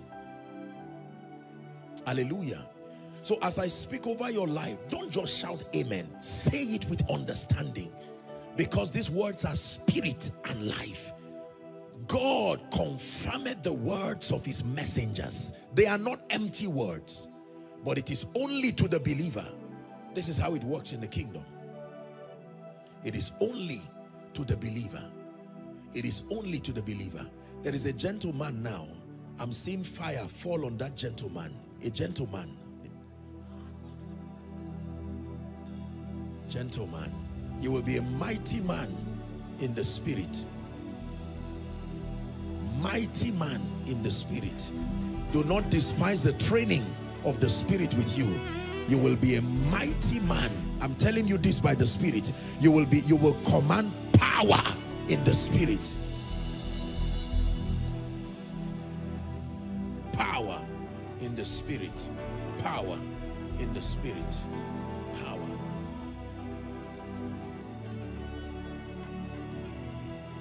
I will sing of the wonders of your work. I will sing out for joy. I will sing of the wonders of your word, and I will forever sing your praise. I will sing of the wonders of your word, I will sing out for joy. I will sing of the wonders of your word. And I will forever sing your praise. And I will forever sing your praise. And I will forever sing your praise. I'm praying for you now. The grace that makes you a man of prayer the grace that makes you pray even in the spirit. The grace that makes you travail till you become by prayer. I stretch my hands over you. In the name of jesus let that grace rest upon you now. Let that grace rest upon you now. Let that grace rest upon you now. Just help those under the anointing. You don't have to bring them out. Just just guide them where they are. I'm saying it again. There is a grace that quickens men to pray. May that grace, like never before, let it rest upon you now. Help them, please. Let, the, let that grace rest upon you now. Number two, I truly want to pray for your understanding of scripture. Please hold on, mommy. The spirit of revelation. There are not many people that have carried this grace. I don't know why. You see, let me tell you, revelation is not just a reality you step into. There is an operation of the Holy Spirit that actually opens you. It brings you to a realm of enlightenment. You become knowledgeable, precise, accurate spiritual information with the results that follow. I'm praying for you in the name of Jesus. Everyone that must drink of this fountain everyone that must drink of this grace access to the mysteries of the kingdom. Light I stretch my hands. Let it rest on you now. Let it rest on you now. Let it rest on you now. Let it change the way you see. Let it change the way you see. Let it change the way you perceive. Let it change the way you receive. In the name of Jesus Christ.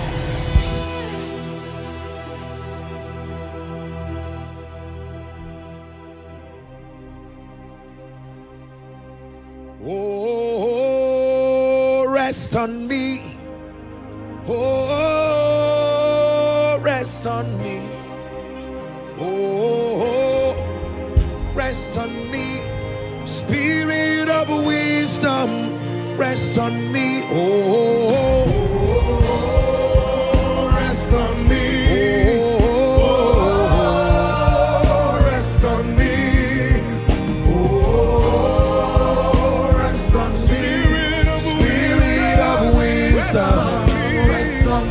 Listen, this is what you are about to receive. What is wisdom? Wisdom is the ability to use the written word and with it provide solutions, translating the word of God, giving it application to your life and destiny. Knowledge is good, but knowledge is not enough. If it does not translate to wisdom, it says to the Greeks that Christ, the power of God, the anointing revealed as the wisdom of God and as the power of God. I pray for you in the name of Jesus, wisdom that will distinguish you, wisdom that will set you apart. It will become clear that you are a carrier of wisdom. Receive it now in the name of Jesus. Receive it now in the name of Jesus young and old, male and female, let it rest upon you now. Let it change your ministry.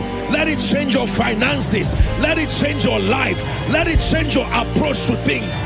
With wisdom, let it come excellence. Excellence upon you. Hallelujah. Don't be distracted. Let your power for signs and wonders rest on me, rest on me. Let your power for signs and wonders rest on me, rest on me. Let your power Your power for signs and wonders rest on me, rest on me. Let your power Your power for signs and wonders rest on me.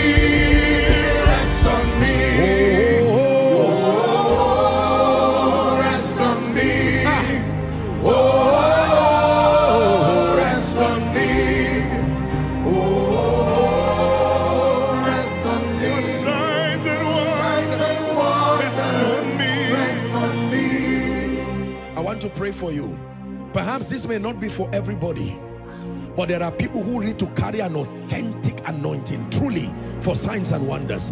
You cannot demonstrate the reality of the life and the power of God except power comes upon you. I know what power can do. I'm praying for someone now. A lady, a gentleman, a Deborah, an Elijah. I don't know who must drink of this that you go back and begin to command a strange order of the miraculous. Take that grace now. Take that grace now. I release that grace upon you. With it, you will pray for the sick and watch them healed. With it, you will speak over people and watch doors of families open. Receive the grace for signs and wonders. I, I release it upon you from the depth of my heart in the name of Jesus Christ.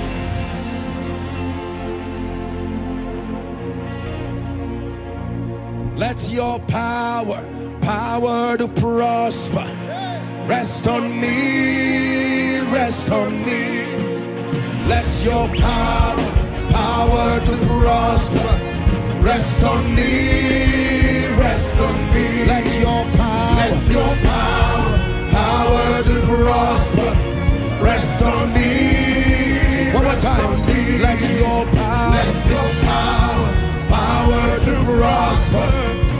rest on me, rest on me. Listen, hear me. Truly, there is the power to prosper. Honestly, if you have never believed anything about scripture, believe this one. There is, there is a real dimension in the spirit called the power to prosper. If it is not on you, it will be clear that it's not on you. There are many things. Listen, the power to prosper is not about money. Don't mistake in it. The power to prosper has nothing to do with finances. It only reflects itself in finances. The power to prosper stops things from dying in your hands. The power to prosper is what is responsible for advancement. It makes everything to produce. He shall be like a tree that is planted. Our, the mistake is that every time we say power to prosper, we are thinking naira and kobo. No. There are people who have money without the power to prosper. When the power to prosper is upon you, nothing dies. You become Beulah and Hephzibah, a well-watered garden. I want to pray for someone. This is the cure to struggling. I'm coming to favor, but many of you, but even if in your, listen, if your finance is not working, the power to prosper, I have taught this and I want you to listen so you don't just shout amen.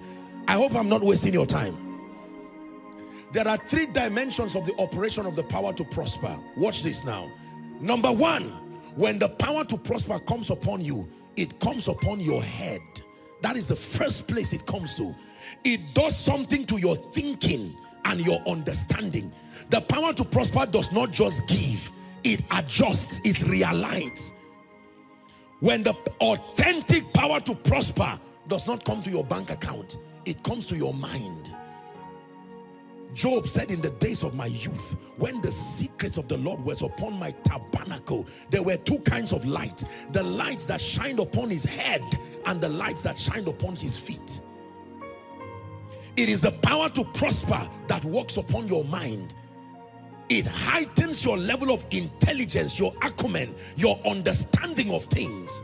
You begin to comprehend things in an unusual dimension. It is that dimension that fishes out solutions in darkness. That is what gives you the treasures that are hidden in dark places. Hmm. I want you to believe what you are hearing. I know what I'm talking about. Oh, when it has to do with this one, this is not a lecture. The power to prosper. Many people do not have it. And so you find out that only one little thing seems to be working and everything is dead around their lives. Just because you have money does not mean you have the power to prosper. The power to prosper has nothing to do with material things. It only commands material things. Hallelujah. Your mind. The second area where it functions is your hands, representing productivity. You can have creative ideas, but the fortitude to execute them, to now turn them into solutions that schedule rewards for you many do not have it. The power to prosper comes upon your mind then your hands and then the third dimension is your feet representing guidance and direction. When the power to prosper rests upon your life it begins to culture your walk so that you go to the right places influenced by the spirit of God and Isaac sowed in that land the key word is not the sowing is that land if he left that place, you see, it is the power to prosper that can make you to know that the season has ended in a place. It is the power to prosper. It has the assignment of insisting that you move forward. It has the assignment of seeing that you excel. Whatsoever he doeth prospers. That is the assignment. Many of you are just learning about the power to prosper now because every time we talk about the power to prosper, people are thinking their bank account, their ATM, it works there. But that is the latter part of the power to prosper. You can have money by going to school and getting a job and get something coming. When the power to prosper brings you finances, the difference will be clear. You can get finances by many other means, but if it comes by the power to prosper, it is dangerously defended. There is longevity. Do you believe what you're hearing? Because I'm about to release that grace on someone. There are people here, nothing is working in your life. You are sincere, you are educated, you love God, but you lack the power to prosper. You are in ministry, receive this oh, because it is the power to prosper that works in partnership with the grace for favor. You are receiving that. That brings the helpers that come to hold your hand as you serve. It is the power to prosper that brings the people who need to help you in ministry. The helpers of the war the power to prosper that for no reason should you fail. Do you believe what you're hearing? Father In the name of Jesus Christ, I stretch my hands over my precious people and I'm praying for someone who is thirsty, desperate, and hungry in a way you have not experienced before. Let the power to prosper truly let this grace that causes men to prosper rest upon you now. Let it rest upon you now. Let it come upon your job. Let it come on your ministry. Let it come on your finances. Let it come on your mind. Let it come on your hands. Let it come on your feet. I say it again. Let it come on your mind. Let it come on your hands. Let it come on your feet. In the name of Jesus Christ. That by this prophetic declaration, nothing dies in your hands. In the name of Jesus. Are you tired of receiving? Let's talk about favor. Is there such a thing as the favor of God? Can it rest upon men? And can it be seen that a man carries the favor of God? The answer is yes. There is truly a grace called favor. This one is what gives you dominion in the world of men. The assignment of favor is not to bring things. Favor is directly connected with men. The ministry of men resides within the jurisdiction of favor. Is what makes men like you. Expressing itself in uncommon kindness. Expressing itself in uncommon access. Are we together now? Uncommon acceptance. The clearest proof of favor is the presence of men. Quality men to help you. Quality men to stand with you. Quality men to lift you. When the favor of God is upon a man, it brings struggle to an end. It brings struggle to an end. How do you know the favor of God is not upon you? Because the men who should be used by God to attend to the matters of destiny never seem to show up. You don't call them by saying come.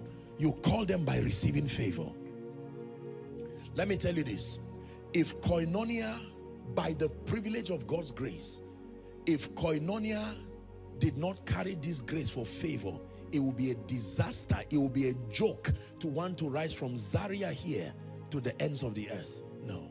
Right in this place, there were people coming from all over the world. America, UK, with the whole crisis, terrorism and everything, they would come, fly from Lagos to Kaduna, inconvenience themselves, not have the best of hospitality, but still endure. That's what happens when favor is upon you. Favor is what gives you space and territory. They got not the land in possession by their own sword, by your favor. Favor is what stops emptiness from your hand. Exodus 3.21 and I will give you favor in the sight of the Egyptians and it shall come to pass that as ye go ye shall not go empty favor it compels people to want to give you some of you this is what you need to remedy for the financial calamity that right now is upon you. You can learn the ways of finances properly when the pain and the trouble is gone. But as per the trouble you are in now, it is only the favor of God that will bail you out. Loneliness is one of the evidences of lack of favor. No man.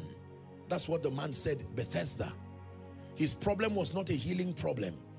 The water was there. The power was there. But he said, I have no man. I have no man. That was his problem. Why are you still in this situation for 38 years? When an angel comes to stir the water every year, others came there and they came two days before the angel arrived and they got healed and walked away. But one man remained there for 38 years. And here was what he said, verse 7. I have no man when the water is troubled to put me there. I went to school, but I have no man who will speak to me. I can work, I can do the business, but I have no man. I'm a great anointed man of God, but I have no man to help connect me to the next level. Let me pray for you. Let your grace, this grace called favor, rest on you, rest on you. Let your grace called favor rest on me, rest on me. Can I tell you this? Many of you have heard the great things that God is doing. We're a family. And I say these things to the glory of God. I can only begin to tell you the mighty and manifold things that God is doing through this ministry. It is remarkable and tremendous. Everywhere across the globe, the favor of God, the mighty wonders of God. But this is where it started. When favor rests on you and you actually receive it, then sit back and watch how you tame life like an animal. You know how people tame horses? How people tame animals? Animals that are stronger than them, but they developed a mechanism. You can tame life like an animal on the strength of favor. In the name of Jesus, let favor by the Spirit of the living God upon a man, upon a woman, upon a man of God, upon a businessman, upon a career person, upon a student, upon a parent. Let that grace rest upon you now. Let that grace rest upon you now. Let that grace rest upon you now. Let it begin to attract quality men to your life, quality relationships to your life. In the name of Jesus, by this impartation, everything that looks like reproach around your life, where you are alone and men do not show up to help you, I pray for you. Let that tragedy called Ichabod in your life come to an end now. Hallelujah. The final impartation for tonight. The final impartation for tonight. You're going to receive the grace called speed. Why do you need speed in your life? Because destiny is a function of time. And many of us, by default, we are already late in life. Did you hear what I said? By default, not because you are wrong. Some of us got to know the Lord late. Some of us got to go to school late. Some of us right now is 10 years since after graduation. 20 years since after graduation, you've not gotten the first job. When will you be able to build a house? When will you be able to take care of the necessities of your life with integrity and without compromise? Hallelujah. Speed is one of the spiritual systems for time redemption. The Bible says, walk circumspectly as wise and not as unwise, redeeming the time. There are two principal ways in the kingdom by which we gain dominion and exert dominion over time. Number one is called restoration. Number two is called speed. Let me focus on speed tonight. In the name of Jesus, I'm praying for someone who has been laid back in life. I pray for someone who has been delayed. I pray for a family that has not, you are not at the place you should have been now. I pray for you. In the name of Jesus, receive that grace for speed. Receive that grace for speed. My God, receive that grace for speed. Let it rest upon you now. In one month, you will achieve things that have not been done in years. I say it in one month. You will achieve things that have not been done in years. In one month, you will achieve things that have not been done in years. In the name of Jesus Christ. Koinonia, hear me. As you go, carry these graces and may they speak for you. As you go, let every man who sees you on the way bless you. As you go, let every mountain that stands before you be cleared out of the way for your sake. As you go, you shall not die. As you go, you shall not want. As you go, you shall not beg. As you go, you shall not borrow.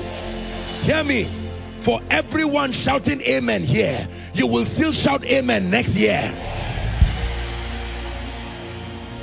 By the power of the prophetic and the apostolic, I shut the gates of the grave. I shut the gates of accident.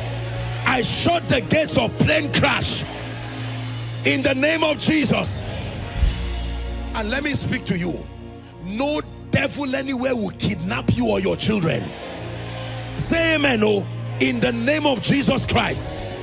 Every conspiracy to bring you pain during this season, I declare may you be exempted.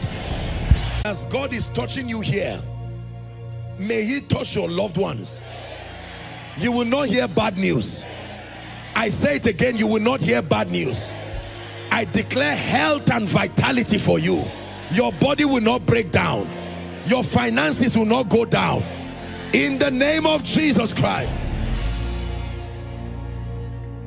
Let's give Jesus a mighty hand clap. A mighty hand clap.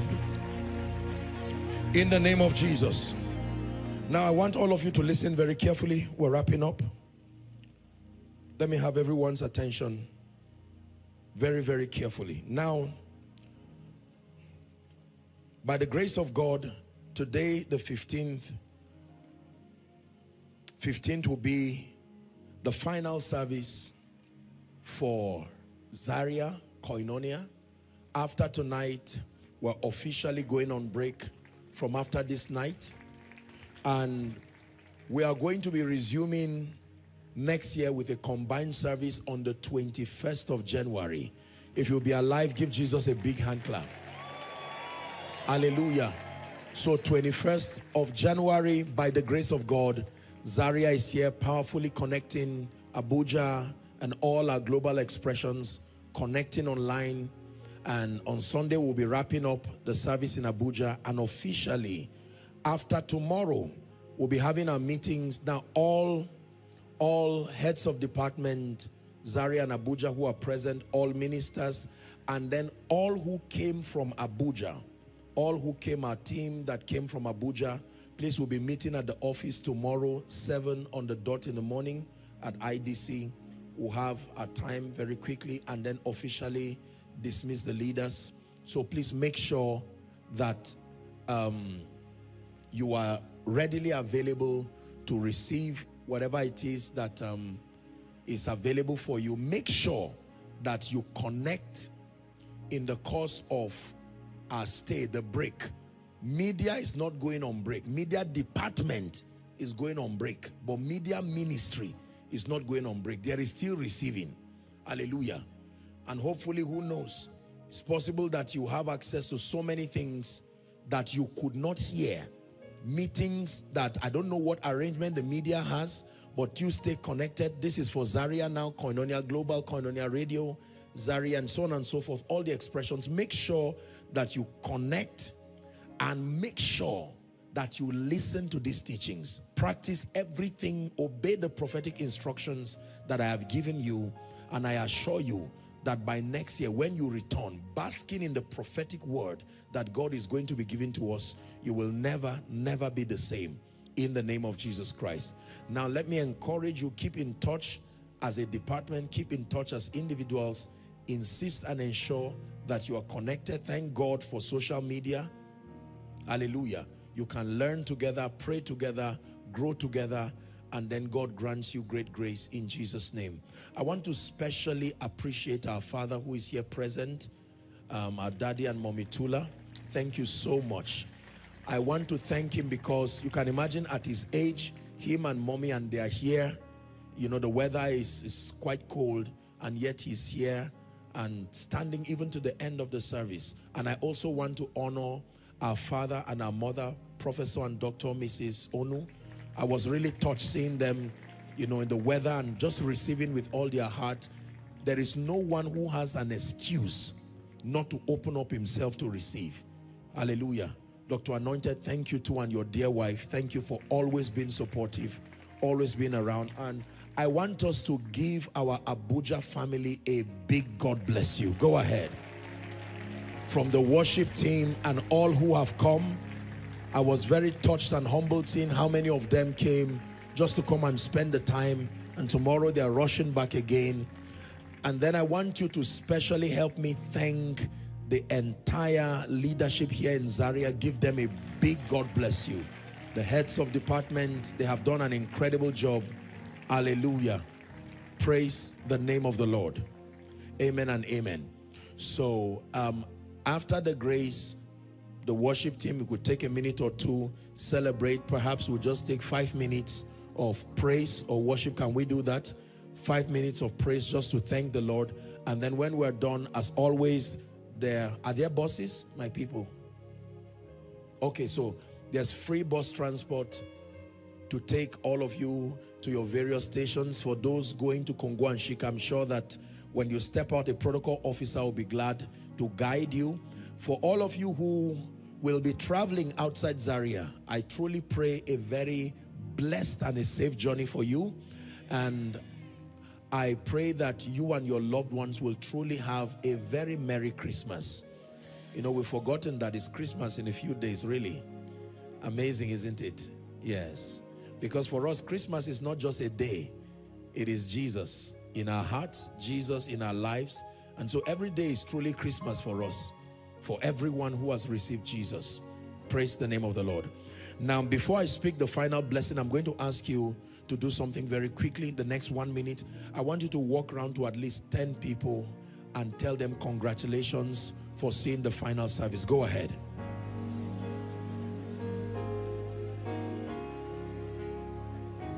Come on, Koinonia Zaria, you can't, you can't be that cold. You can't be that cold. Congratulations. You made it finally. Congratulations. You do not need to know them.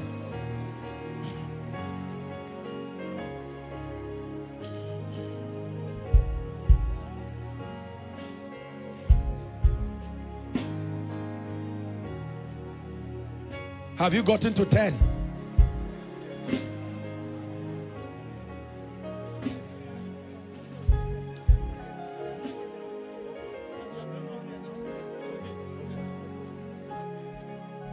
Hallelujah.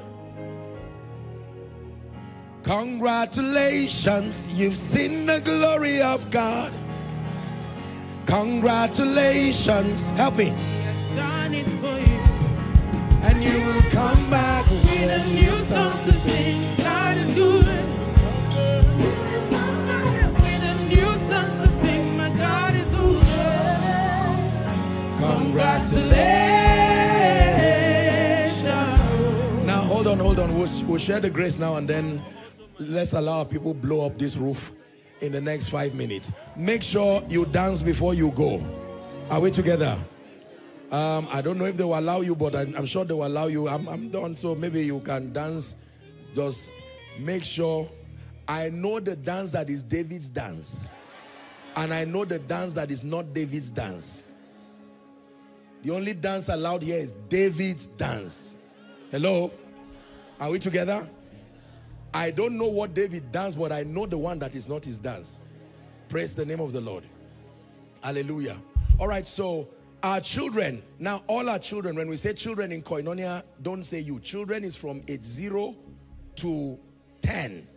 Where do they meet? Welfare, directs me. Where are our children going to?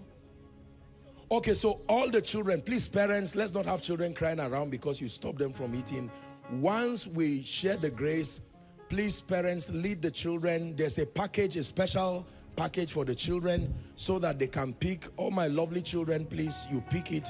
For the remaining, you have received spiritual blessings and that is the price you pay for being an adult. Hallelujah. In the name of Jesus Christ. In the name of Jesus Christ. Are we ready to share the grace?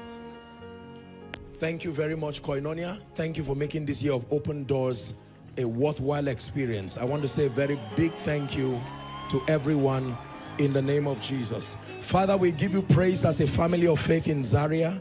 You have been faithful. You have shown us your mercy and we thank you. Thank you for this final service. Thank you for the instructions in righteousness, the impartation. Thank you for our global family connecting. Lord, in the name of Jesus, as we wrap up Koinonia in Zaria, we pray that in the name of Jesus, the blessings continue, the transformation continues, the liftings continue in the name of Jesus Christ. I bless you once again and I pray that you will, your year will end with honor and the year beginning will come with grace in the name of Jesus. Together, okay, now let me just say this. Thank you, I forgot. Now, as a ministry, we have what we call the end of year sacrifice. You know that. Um, I hesitated saying that here because we'll be doing that in um, Abuja. It is a culture we have practiced, excuse me, as a ministry. And I want to encourage every one of you participate. Our end of year sacrifice is a ritual, well, not a ritual, a practice by Koinonia Global Family where we give. We give sacrificially every year. We give every other time, but particularly at this point, I wanted to wait and announce it in Abuja, but I think it's important. Zaria, make sure you participate. Don't carry a beggarly mentality and say it's those who have money. That's a dangerous philosophy. Praise the name of the Lord. I'm sorry I didn't, I, I totally, you know, I, it was, I didn't even place it as a priority, but I love you too much to not. So what will happen is that you can use the account details from now until resumption agree with God on a sacrifice. Do it as a couple, do it as an individual, as a business person, whatever capacity, make sure you participate in this. Hallelujah. Okay, beautiful. The details are here. Make sure, send in your seeds, and I'll do an official announcement on that on Sunday. But it is a practice. Make sure. Pray, don't just give. Are we together? It's not about money. This is a ministry God has shown mercy. You know that by now. Are we together? So it is when we give, number one, it's a covenant responsibility by understanding. Number two, you are saying thank you to Jesus for his faithfulness all through the year. Number three, you are connecting with all the blessings that he has spoken concerning you and the ones that are to come. And then number four, you are just connecting with that which we have agreed upon as a ministry. Hallelujah. Praise the name of the Lord. So make sure that you take advantage of the account details now you can do it now or perhaps when you leave but just make sure between now and the resumption let it be from the depth of your heart every single one without exception make sure your seed and your sacrifice is part of this and I pray for you in advance that in the name of Jesus whatever you are agreeing for especially financially may the God who has shown us mercy and helped us out of financial shame and reproach forever May he turn your life around and change your story. In Jesus' name we pray. Let's share the goodness and then we dance for five minutes, rejoice, and then we're done for the night. Surely, all the days of our life. Dearly beloved, I hope you were blessed by this message. I want you to keep doing something for this man of God, our man of God, Apostle Joshua Selman and that is I want you to keep on praying for him that the cause of the gospel may have free flow in him, that he may be granted boldness to continue with his commission of Jesus Christ, and that all provisions be given unto him as he continues in this journey of Christianity. And then don't forget to like this video. Don't forget to hit the subscribe button if you are new here. Don't also forget to leave a comment in the comment section and then keep sharing keep sharing abroad and let's all keep sharing jesus. I'll see you again. Bye